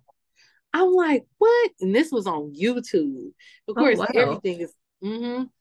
So it's like they can't get away from media, but the world has conditioned it that way so that our kids can be controlled by them and not us and, and governed by God. I I don't, but that's just you know that's just my take on it. Mm-hmm. Any one of you ladies have any input on what you think? I I can go. Um, so with with Brent being the youth pastor, and so us being youth leaders, um, we see a lot of what the influence influence does. Um, especially just during the camp this summer. Um, our our youth were a lot more vulnerable, a lot more open. Um, we used a journaling method to really get in their minds and really see where they were, um, mm-hmm. the things that they wouldn't say out loud. And a lot of them are seeking answers that don't exist in the resources that they seek them from. And so mm. um it, it's my for for my kids, especially with Kennedy being 13. Um, Kennedy says she's not allowed to have a, a TikTok, but I realized that she was watching YouTube shorts. I'm like, that's a TikTok. Yeah. It's a TikTok. And so I'm just kind of monitoring, trying to monitor the things that she watches. But because she's 13, mm-hmm. you know, the whole um I noticed that when she first got her own phone and stuff, if I asked her to do something, she would lock it and flip it over and then she'll go on and do what she's doing, and she would think I don't know the password, baby. I yeah. I pick it up and I look. Okay, okay. Oh, that's why. Uh huh. You were on YouTube watching YouTube Shorts. Aha, I see. Okay. um, but it's but I seen something today. Um, that had there were two like demonic looking spawns, and they had a cage on their back, and the cage had kids in them. And the question was asked, what influences are you allowing to lock your kid's spirit up? Mm. So here, here's what I know. Um, like for instance, Brent. Brent is a prime example of the things that of your family being the biggest influence. Brent was raised in the church. His parents did not allow a lot of secular music, all of the things. There, these new rappers, and I mean when I, when I say new rappers, y'all, I mean like rappers that's like from early 2000s. Brent don't know who none of them people is. He be like, who is that? I get to talking about something. I just say, did you see such and such on Shade Room? And he be like, who even is that? But that's but I was raised different. My mom got into church for real, for real. I think we've been at Memorial going on 20 years, but I'm 30. I don't know how old I am. 32. I'm 32. So by the time I was 12, from zero to 12, BET, people used to be like, your mama kids know all the songs. We used to make up dance routines and everything. And then when social media came about, I'm already 13, 14 years old and been exposed to all types of music. My mama was going to church. I wasn't. My mama still pivoting in her relationship with Christ. So it wasn't a if I go, y'all gonna go. It was a if y'all, if, if y'all ain't dressed when I get up, I'm gonna leave y'all type deal. And so I had a lot of influences. So me, it's a lot different. But it is my prayer that the example that I lead in my home is what my children take with them. I pray that the taste of this world is not good in my kids' mouth. Whew. That the music of this world, it means nothing to their ears. That the things that they see on TV, the the classy is born, I pray that they are bored forever. Okay. Because I don't because what what I don't what I don't have time for. Me and Brent were just talking. We were talking about how, let's say, for instance, I use a drug dealer, for instance, because for whatever reason, they always seem to have everything, right? And so they have the houses, the cars, the furs, the this, the that, the women, the this, the that, and they still empty. They still seeking and yearning for something. So it's my prayer that we are giving my kids, our kids, the right influence in this home so that they walk in purpose and purpose alone. I want Kaylee to be so conditioned that when people ask her what she wants to be, that she opens up her mouth. What do you want to be? In the will of God. What does that look like? I just want to be in the will of God, whatever that looks like for my life, whatever. And, and so, and I am a, and, and being in the, I think I've been in youth ministry going on 10 years. I've been in the youth ministry long enough to understand this one thing. The world can throw what they want to throw at these kids, but the God that I serve, he ain't feel me yet, and he ain't gonna start because somebody on the on the radio talking about some some classy is born or somebody is at the school saying something that's inappropriate or whatever the case may be. I'm building the character of kingdom citizens. Yeah and so I and so I know things will come, come up. I know curiosity will strike up, but I pray that when they go to listen to the music they ain't got no business listening to, that it leaves a nasty taste in their mouth. I pray that when they look upon the things that they're not supposed to be looking at, that it, it brings them no entertainment, it brings them no joy. I pray that the mm-hmm. their character as a kingdom citizen overrides the influence of the enemy any given day. Yeah. And I and, and and like Apostle says all the time, the word when the word says train up a child, then train up a child, that means bend the child in the way they should go. And so if they do depart from it somewhere down the line, guess what? I raised a kingdom citizen. So if they ever start acting like a world peasant, they'll get back to their kingdom citizenhood. That's just what it boils down to. And so yeah. there are a lot of influences. Media has a lot of influences over our children. Um, but I think it's like you said, it starts at home. It starts at home. It starts with the seeds that you sow at home. It starts with the things. Music can't never. Music will never be able to define to my daughter who she is because Kaylee Christine knows who she is. She mm-hmm. knows the beauties that she's possessed. She knows the the all the things that she possessed because it starts at home. So when she does see little somebody down the street twerking or something, whatever the case may be, half naked because of something they seen on TikTok, she gonna keep her clothes under her butt where it's supposed to be. And so, right. I, and I, I told Brent, I said one of the things that concerns me is that when we were growing up, um, women were women, women were classy, men were men, men held a standard. We got to see those things. Um, we got to see it in the way that people carried themselves on on TV, in the way that you know the TV shows were about college and yeah. families and all of that. And those are not the things now, right? And so our kids really don't have a lot of the good influences, and it's sad. It's sad. Every time I get on social media and I see a woman with no clothes on, it breaks my heart. And. I always think my grandma would have never. The women of her time, our mama's time, they would have never, never. And so, what can I do about that? I can show up and be a good example for what a woman looks like for my daughter because I'm her first mentor. I'm right. her first mirror of what a woman looks like. My husband is the first mirror for our son of what of what a man looks like. So I, I, I believe that that what's going on with the influences that media is pushing out with social media and all that, it's gonna get worse it's gonna get a, a, a ton. They're gonna have access to way more stuff because, like Tamashika said, that is the that's the plan of the enemy is to destroy a generation. Yeah. But I, I heard Apostle say, when you're in a rock in a hard place, make sure that Jesus is the rock. So even being in a rock in a hard place, we going for Jesus, we going for broke. I'm gonna give them the God, and I, am raising kingdom citizens, the ones that'll tell their friends you dead wrong for that, and you know you're wrong. Yep sis, you're not going nowhere with me with that. I don't go put some real clothes on because we classy over here, no matter if it's born. Period. Hello. And so I, I'm just I, I um I am like I said, I'm raising kingdom citizens, and I believe that God is going to continue to give me the things that overpower any influence that this world would ever try to bring towards them. And even Absolutely. if they do stray, if they even even if they do stray, they will return back to where they're supposed to be. So yeah, that's my take on it. That's good stuff. Amy, you got any take on influence? I do. Um, but to shorten time with the two older ones that I have, all I ever did was just watch and pray. That's that's pretty much all I can do. Um, I see it a lot now. And oh, I'm listening to y'all and I watch the girls that are on the squad and I see the influence. I see and it's so much and I'm not going to pinpoint one thing because I don't want to I don't want to, you know, open the floodgates, yeah, but right. um I see it all and it is is is heartbreaking. Um one thing I'm grateful for though is that I I had two kids that were always very mindful of who they were and they always wanted to be original them. So they didn't want to follow after anybody else. And honestly, Zaria gets extremely mad when anybody tries to follow after her. She does not like that. It bugs her when somebody when she sets her own trend for her own self and then you trying to do the same thing she doing. No, no, thank you. Like she does yeah. not like that. She hates it.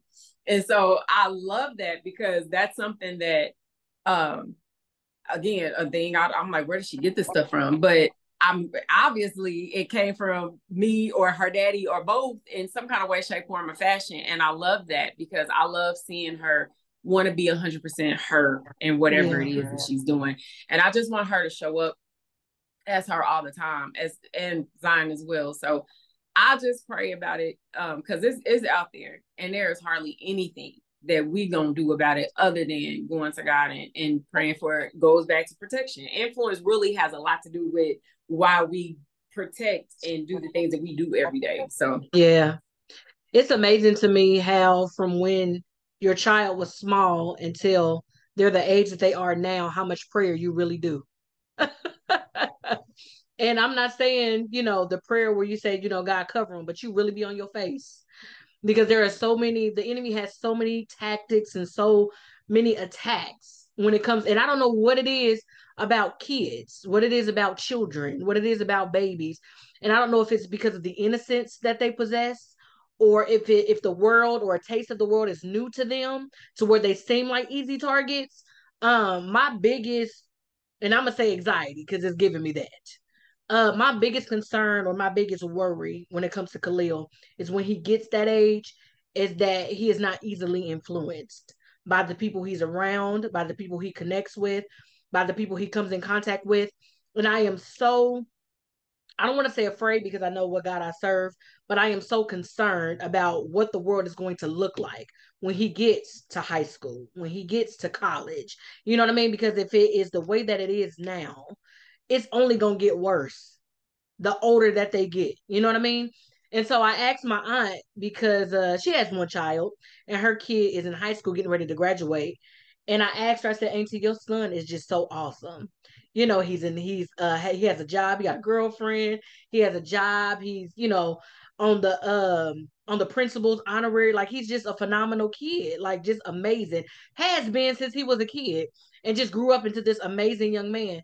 And I asked her, I said, so what's what's what's the tea? What's what's what is the trick? Okay, what's the tips? What you doing at home? And she said, I'm gonna just keep it a buck with you. I'm gonna just be honest. I pray. And I said, That's it? And she said, Yeah. And she said, I let God do the rest. She said, because from when he was younger until he is the age that he's he is now, I did what God told me to do when it came to instilling everything that needed to be instilled in him. And so the kid that you see right now is just evident of what God can do when all you do is just pray. I said, sis, I mean, auntie, really? She said, yes. And she said, that's all you got to do is just pray. And when you do pray, you be specific in your prayers when it comes to who your kids uh are, you know, gravitate to, who they call friends, even when it come to family you know, you be very specific in your prayer. And she said, and just watch God do the rest. And she said, yes, I am very, you know, uh, I'm a witness to as your kid gets older, there are different stages that you're going to hit from when they're a child until they are the age that they are now. And with them different stages, it will cause your prayer to be different. And no matter how old they get, that is a constant thing that you're going to be doing as long as they're on this earth is praying. And just give them to God, leave them in God's hands. And I was like, man, that's some it, it sounds like it's cliche and it sounds like it's something that's not really a big deal but prayer is something that's never gonna fail it's always gonna be something that's gonna work and if it don't and if you are not a believer in prayer works just look at your life Just look at Fact. your kids' life. You know what I mean? Just look at the evidence around you that prayer is something that works and it's never going to fail. God is never going to fail. And so, being a parent, I am honored that God chose me to be the mother, that God chose my husband to be the father of the of the child we call Khalil, because he is truly a blessing. And although we are still navigating through parenthood, although we are still navigating through uh, the different advice and opinions we get from other people, God has always been our source, and God has always been someone that we kept in the middle of our parenting no matter what the decision is. And right now we're in the process of making decisions on how his progress and furthering his progress should go. And God has not failed us yet. God has opened up some doors that I never thought would be opened because of my son's progress. So we are forever grateful for uh not only God but our support system. For those of you who know his story that has prayed, that has uh interceded on his behalf, you know, we are forever grateful for that. For you all who I see the fruits in your children. Anytime that I can see a four year old or a seven month year old, he ain't throwing no fit, he's shouting. Because that's what we say Khalil is doing. Khalil just shouting, he just getting his praise on. That's all. He ain't doing no fit, he's shouting. He, he giving God the glory. That's all. But anytime you can see a four year old or a seven month or you know three or four year olds giving God praise or giving God glory, that's a testament of what is instilled in them from the parent. And so I've always been told from my mom and dad, no matter how old you get, you are always a representation of us. So what you do, what you say, how you act, it's a representation of not only us, but it's a representation of God. And God loaned you to us. So whatever we instilled in you and you go out and you misdo it or mistreat it, it's a reflection on us. Don't have us out here looking like you ain't teach you right. Okay, don't do that. So, with that being said, time has been far well spent. But uh, before I close this out, I want us to leave some last parting words from mother to mother. Any any encouragement or advice you can give a mom who might be struggling, who is in the midst of giving up, who doesn't have any help but is out here doing it on her own, who is trying to strive to be the best mother she can be for the children that she does have. Is there any advice that you can give them just to keep going on the strength of motherhood? Because it's the best hood to be in. Period. Sis, you want to go first? Sure. And that's on the Um, hood, okay? Right. Period. On the hood. um, I would just give the advice of remember as a woman, remember who you are and whose you are, because you can't take care of your little ones or your big ones if you're not taking care of yourself. Yeah.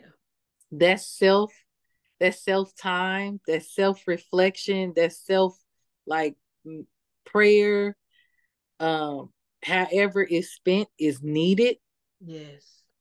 Uh, preferably prayer before you do anything else, um, because that guides you. And I did not recognize this. I'm gonna be honest, y'all. I did not recognize this until I had Zaria.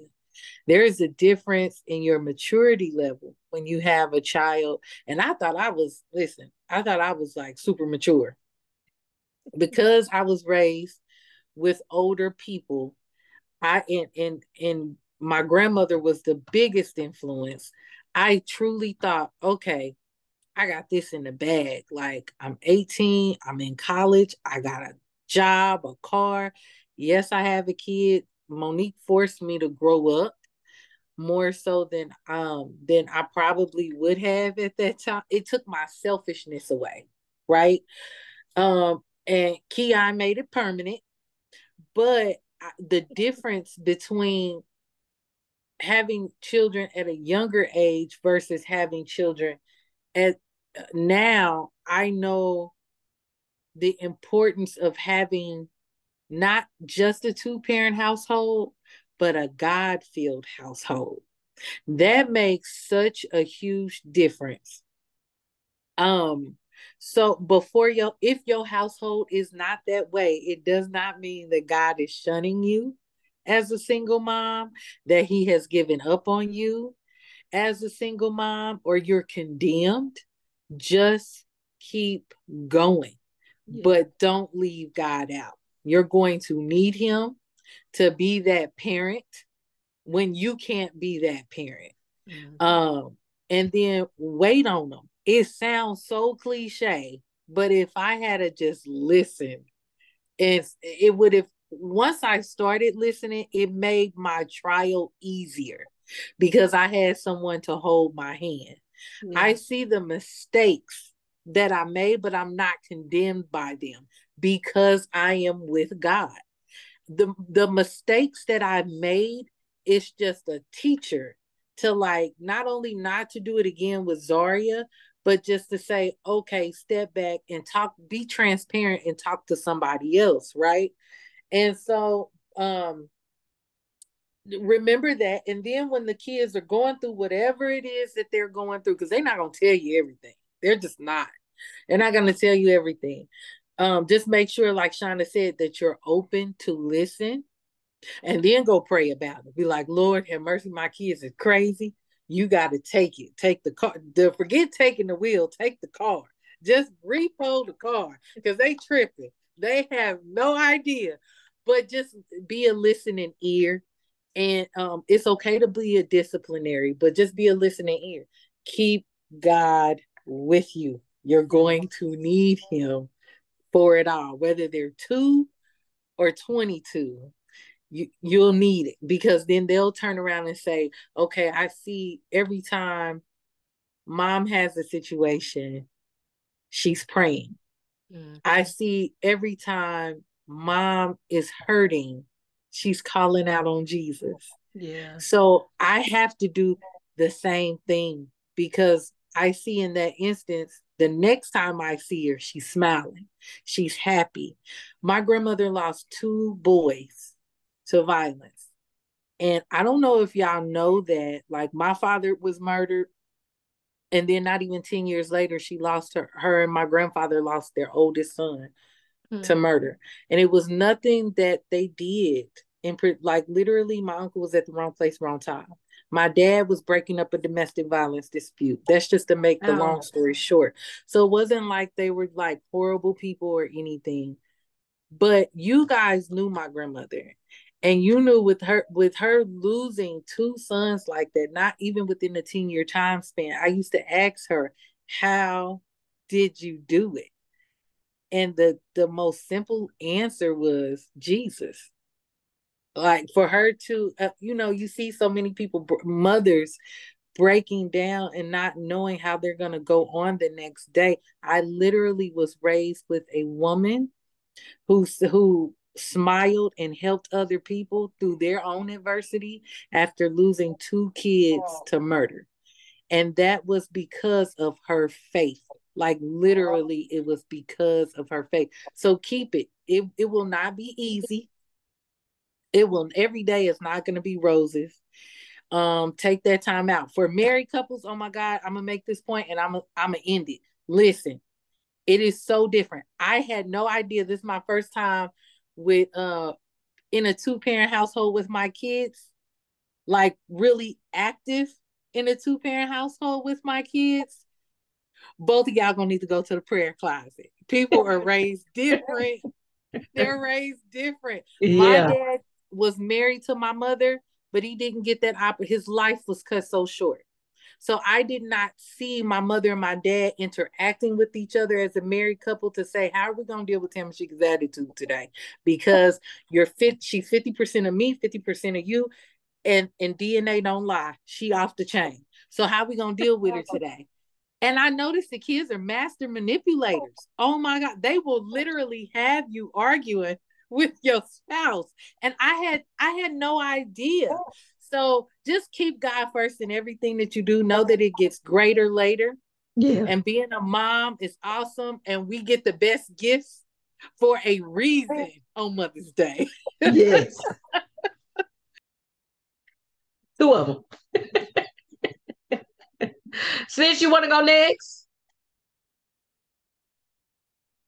All right, so I would just add, um, most definitely keeping God first needs to be the first foremost. Nothing all things will perish if you don't. Um, secondly, I would say definitely focusing on yourself, focusing on your health. Go to therapy. Go, don't skip, don't skip therapy. Don't skip doctor's appointments. Don't skip, skip the gym. Don't skip the nail appointments, even if the nail appointment is you in your own house, don't skip. We have been conditioned to believe this toxic mentality that if we sacrifice certain things, like going to the gym, getting our nails done, getting our hair done, buying us a new shirt for our Right. kids, that we're doing something noble. That's toxic. Don't do that. Because before you were a mother, before you were a wife, you are a person first. And so if you are not taking care of you, then how can you ever how can you truly say you care and you love somebody else and you're taking the best care of them. If you're not taking care of the person you go to sleep and wake up with every single day. The person that you spend every single second with. I Yeah. had that toxic mentality.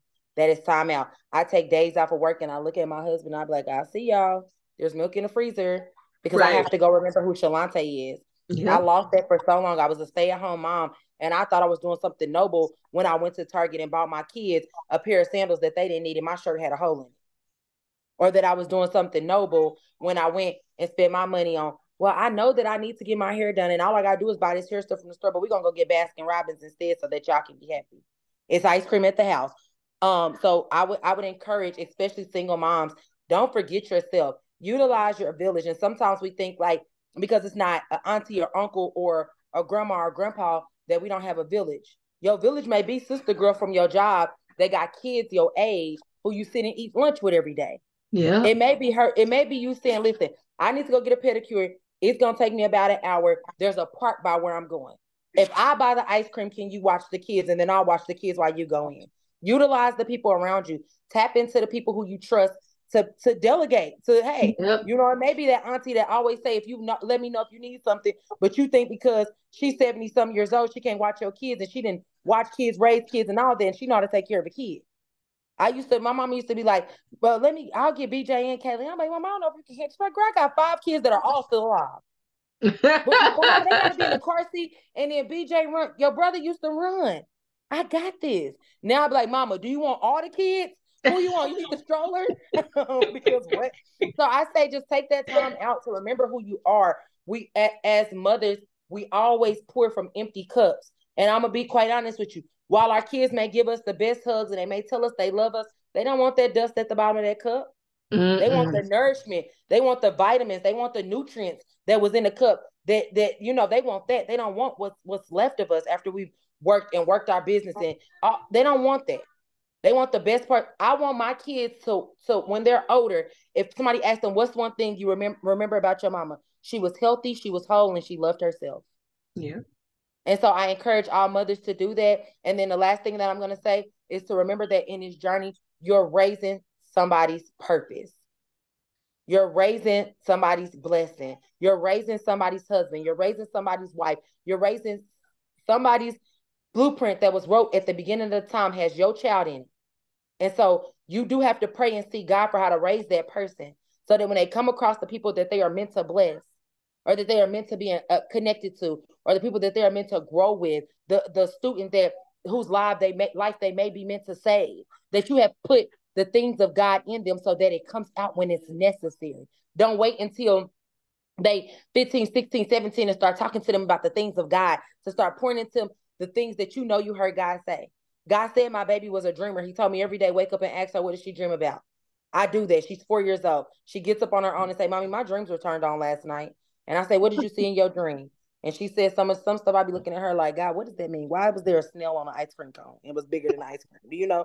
Um, but I but I do the things like um like Shay said that her auntie told her. I, I'm I'm doing what God told tells me to do with them because I know that I'm raising somebody's purpose. That's it. Everybody's placed here, no matter how they get here, everybody's placed here for a reason. And so we can either, as parents, pour into them the things that they need to walk in a purpose, or our kids will be the same people that we're looking at with pity down the Mm. line. And we don't want to be in that space. So I say, remember that. Out of all, put God first. It, it need to be God and you right there, like immediate second. Right up under that mug. I say, I say all the time, it's God first, me, and then my, my husband and my kids, everything else is secondary. So I bunch us all together. I bunch us all together, and then everything else is secondary. The give all give all things to God, take care of yourself, and remember you got somebody's purpose in your hands. So That's that's, my advice. That's good stuff. Amy? So I think first of all, I love what everybody says. So I want to say that. Um, I think what I want to leave today is I remember um trying to think through how I was going to parent after the divorce. And mm-hmm. um having my encouragement today goes to those ladies who are divorced um, or those ladies who are co-parenting with a a man um, or a, another person who you know you guys either were in a relationship or you were divorced or whatever the case may be. Listen uh my first thing i want to say is that child is not a pawn. You need to make sure that if you are going to co-parent that means that you guys are going to get together and you are going to figure out the best plan that is in action for that child. It is not about you. Yeah. It is not about him. It is about that baby. That's it. That child, that young adult, whatever it is. Um, I am saying this because I remember where I was and where I am now. Mm-hmm. And where I was, I was angry when I started. Um, and I remember Zion's graduation life not being the best, but we got through it.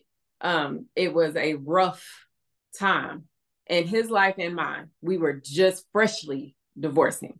And I look at the time frame now. And I'm looking at how Zaria went through a lot in these last couple of years. And we are in a better place. Um, my ex-husband is remarried now, so she has a bonus mom as well.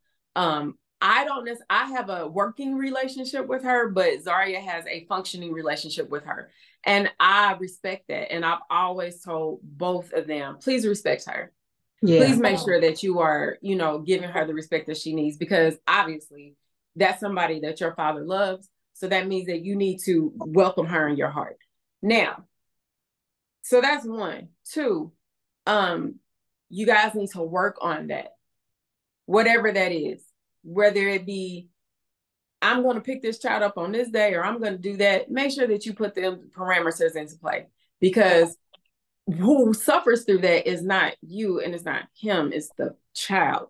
So that's my advice. Um, I can say a lot to that, but as I don't really, I feel like I'm a single mom, but honestly, I'm not a single mom all the way because I've had the experience of being married. I've had the experience of being separated and I've had the experience of being divorced and all those things rolled up into one.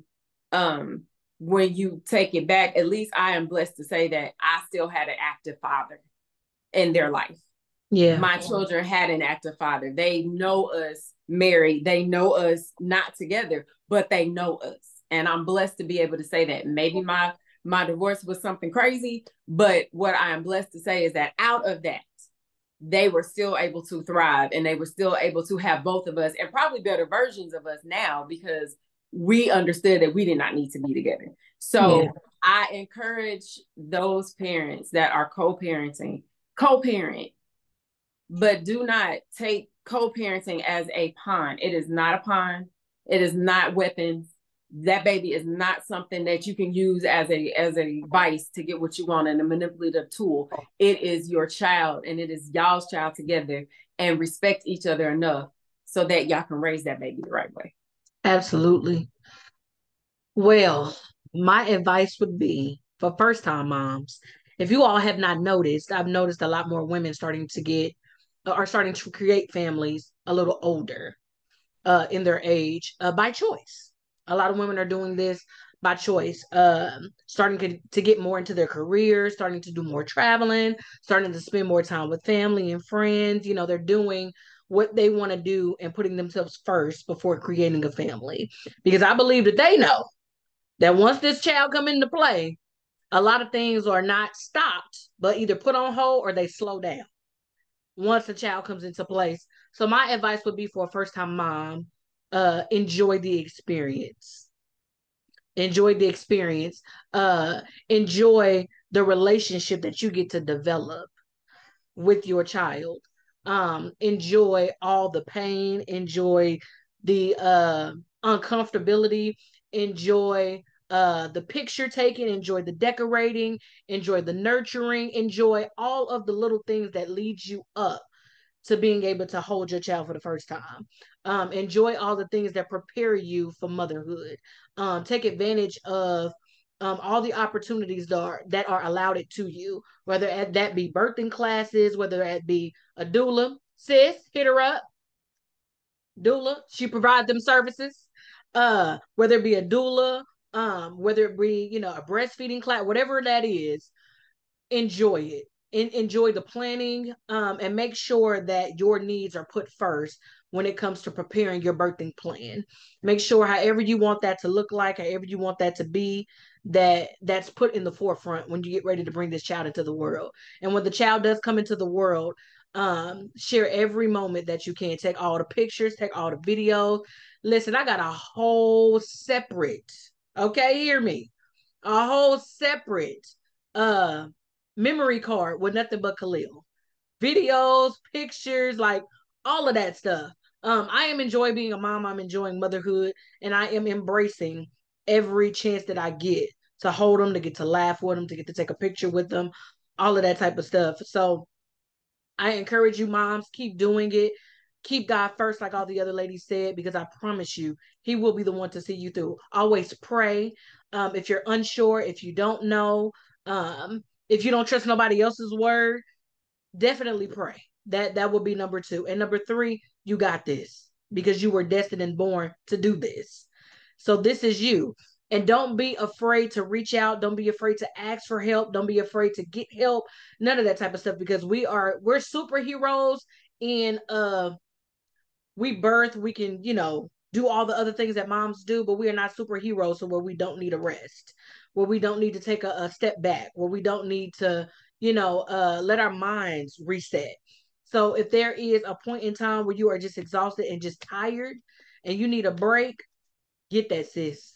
Get that. Lean on your support system. Those who you trust, lean on them for sure. And I promise you, after you do all of what you need to do for yourself, you will be an even better mother than you thought you were before. Listen, ladies, time has been far well spent. I told Auntie Shonda when we first started that this might be a while. One, because it's four of us. Two, because we're women. And when we get to talking, lose track of time. we had some malfunctions in the beginning, but I thank you all for rocking with me. I apologize for um the audio. We were having some difficulties getting the sound and stuff like that together. This is my first time actually doing a four um square panel. So I thank the ladies for uh, going on this journey with me. It was a success, although we had some mild audio issues, but it turned out phenomenal. You ladies gave some great advice. Um, I'm leaving with a little bit more understanding of what it is to be a mother from you all's ladies' advice. Um, I'm I'm rocking with the motherhood. Now, once I like I said before, I don't know how many it's gonna be, but I'm cool with the one for now. Okay, cool with the one. Cool with the one. cool with the one for now. Is there any parting words that you ladies have to say before we end the show? I, I just want to say real quick, Shay, thank you for um having us on here. Absolutely. Just, just, watching the podcast grow has been phenomenal. Um, but I will say this watching you walk in motherhood is a testament to the goodness of God. Yes. And so I just thank you for sharing, for being open, for being transparent, and for allowing us into this space for you that used to just be a prayer. So yes. I, I, love you and I thank you for having us on. I'm gonna go cry my tears now because you have, you are Mother Shay is blessing my soul. Okay. I, and I just I really thank God for allowing us to have insight on what his hand looks like when he works the thing out. So yes. God bless you, sis. Absolutely. Thank you, sis. Love you too. Real quick, same love seeing you be on Lord have mercy. I've known Shay. Uh-uh, don't do Shay it. has been da da da. So seeing that, I ain't saying all of it, but right. Seeing that, um, that's it's like a complete blessing. But um, shameless plug. First of all, thank you for loving me and always keeping me um connected. Yes, absolutely. number one. Um, two, um, I want to say thank you guys for just giving all your words of wisdom and all of the things that I've learned. I know one day I'm gonna be a grandma, so a lot of that I ain't rushing though. Yeah, but, that I ain't rushing it though. but uh, but learning what you guys deal with on an everyday basis at this point in juncture in your lives with the smaller kids is definitely enlightening. So, and you never know. Who knows if I'm gonna be somebody's woman that has a smaller child. You don't Yeah, know. So yeah. I need to know what I'm getting into in case of that. So I just want to say right. thank you guys. Um, Inspiration platform, thanks you so much. And Yes. I'm just grateful um to be a part. Absolutely. Thank you so much. The same, y'all know I'm kind of low key shy for real, for real. What? So I'm You? just keep. No. I'm gonna keep it. Look here, I'm gonna keep it short and sweet. no, I, I I do appreciate being on the show with you guys, getting different outlooks of some uh some of y'all stories kind of took me back down memory lane. I was like, oh man, if the kids could go back and be little just one more time. I know. that time goes fast and that's something I'm that I, I took for granted um you know when i had the older two i just i, I went from saying man i wish i wonder what they're going to sound like when they talk and why can't they just be in high school already Right. like saying Dang, I just want one more macaroni card. That's all I want. Like, Oh. but it was no, it was good. Uh, conversating with you guys. Shay, your uh, lounge is amazing. Thank you. Look, we I got we got it. some of the same parallel stories. You know, with like, you know, I know that's your first, Yes. but this one feels like I'm stuck. Like I ain't had, I had, I didn't even have kids. So she, she you know, she give me a run, but I love it. yeah. But no, I really um thank you guys. This this is this has been amazing. It's been fun. Yes, absolutely. Listen, thank you, ladies, once again for uh, joining in this episode with me for the podcast. It was one that was very dear and true to my heart. So I appreciate you, ladies, for accepting the invitation to come onto the show. Um, like I tell you all the time, this will not be your first or last time. Uh, several of you, all, all y'all have been on here more than one time. Okay. Uh, this will not be the second or third time. Okay. that you'll be on the show. Listen, if you are not, you need to be following the Queen's Lounge on Facebook. I'm also on Instagram. I'm on every platform, streaming platform that you can think of where podcasts are listened to. Listen, if you are looking for doula services, sis right here in the corner, she gonna get you together. Sis, let the people know where they can find you at for your services. You can find me on Facebook at Shalante Lewis, or you can find me on Instagram at Day for Doula Services. I am trying out, I'm actually in the process of trying out a new method of the way doulas show up for you. And I'm offering some free doula services. So inbox me the word doula on Instagram or Facebook and let's let's have a conversation. Let's see what I can do for you and your family. Listen, I know there's a pregnant woman out there somewhere looking for one.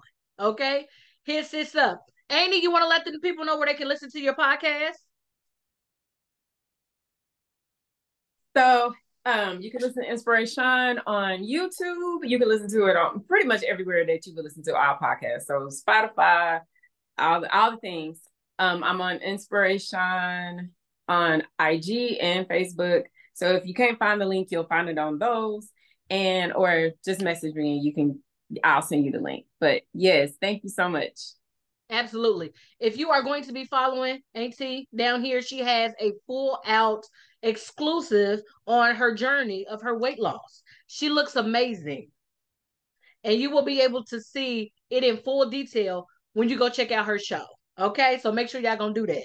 And then sis at the bottom, listen, when I tell you when it comes to decorating, finding coupons, uh, looking for discounts, putting on a whole production, sis down here got you at the bottom. When I tell you their wedding was a full on production, like she bought the whole James Bond like theme hashtag to life. It was incredible. So if you have not, you need to go to her Facebook page. You need to check out the video. Sis, give them the deets because the video was bomb. I, okay, it's cinematic BAMs films. It's on YouTube. It's on our page. I appreciate that. Listen, it was bomb. it was such bomb. it was so fun it was planning with RJ.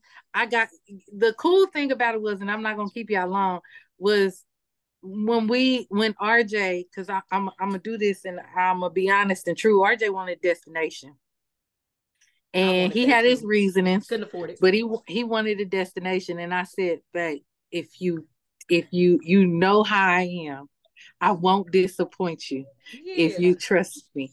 Was it peaks and valleys, highs and lows? But I wouldn't take the planning out of it. But he, him, and I got to be within our within our means Mhm. like financially we got to be as creative as we wanted to be and i was so grateful for that because sometimes i kind of just be like well i'll slide this information to this person you don't have to mention that you got it from me you don't have to mention that i helped you plan your wedding none of that just for me to help plan an event was like it was it's always been fun for me so RJ, when RJ and I became engaged, he was like, "Do you?"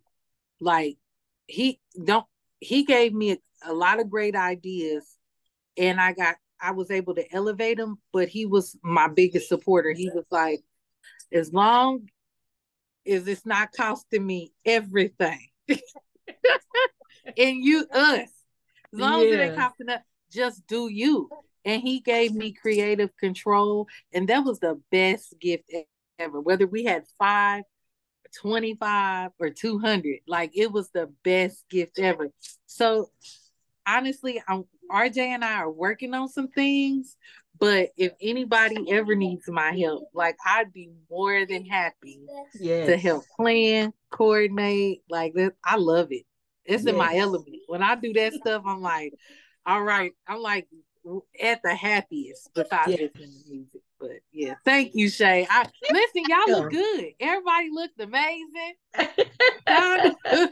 Thank you. You had to pull the Yeah, dress I'm just out. glad y'all had fun. Like that was Yeah. the goal that we all had a good It was time. fun. It was a Yeah. lot of fun. So I, I lot of fun. appreciate it. Absolutely. So you got your doula, you got your other podcaster, and then you got your designer slash event planner. I just Auntie Shonda do a little planning too. So between them two, they're gonna get you together. Sis gonna get you right with them doula services. All right. We'll little, we'll little, uh, a little hashtag on it. Okay. Thank you so much for tuning in. We are going to let you all go. Thanks so much. We love you guys, ladies. Until next time. See ya.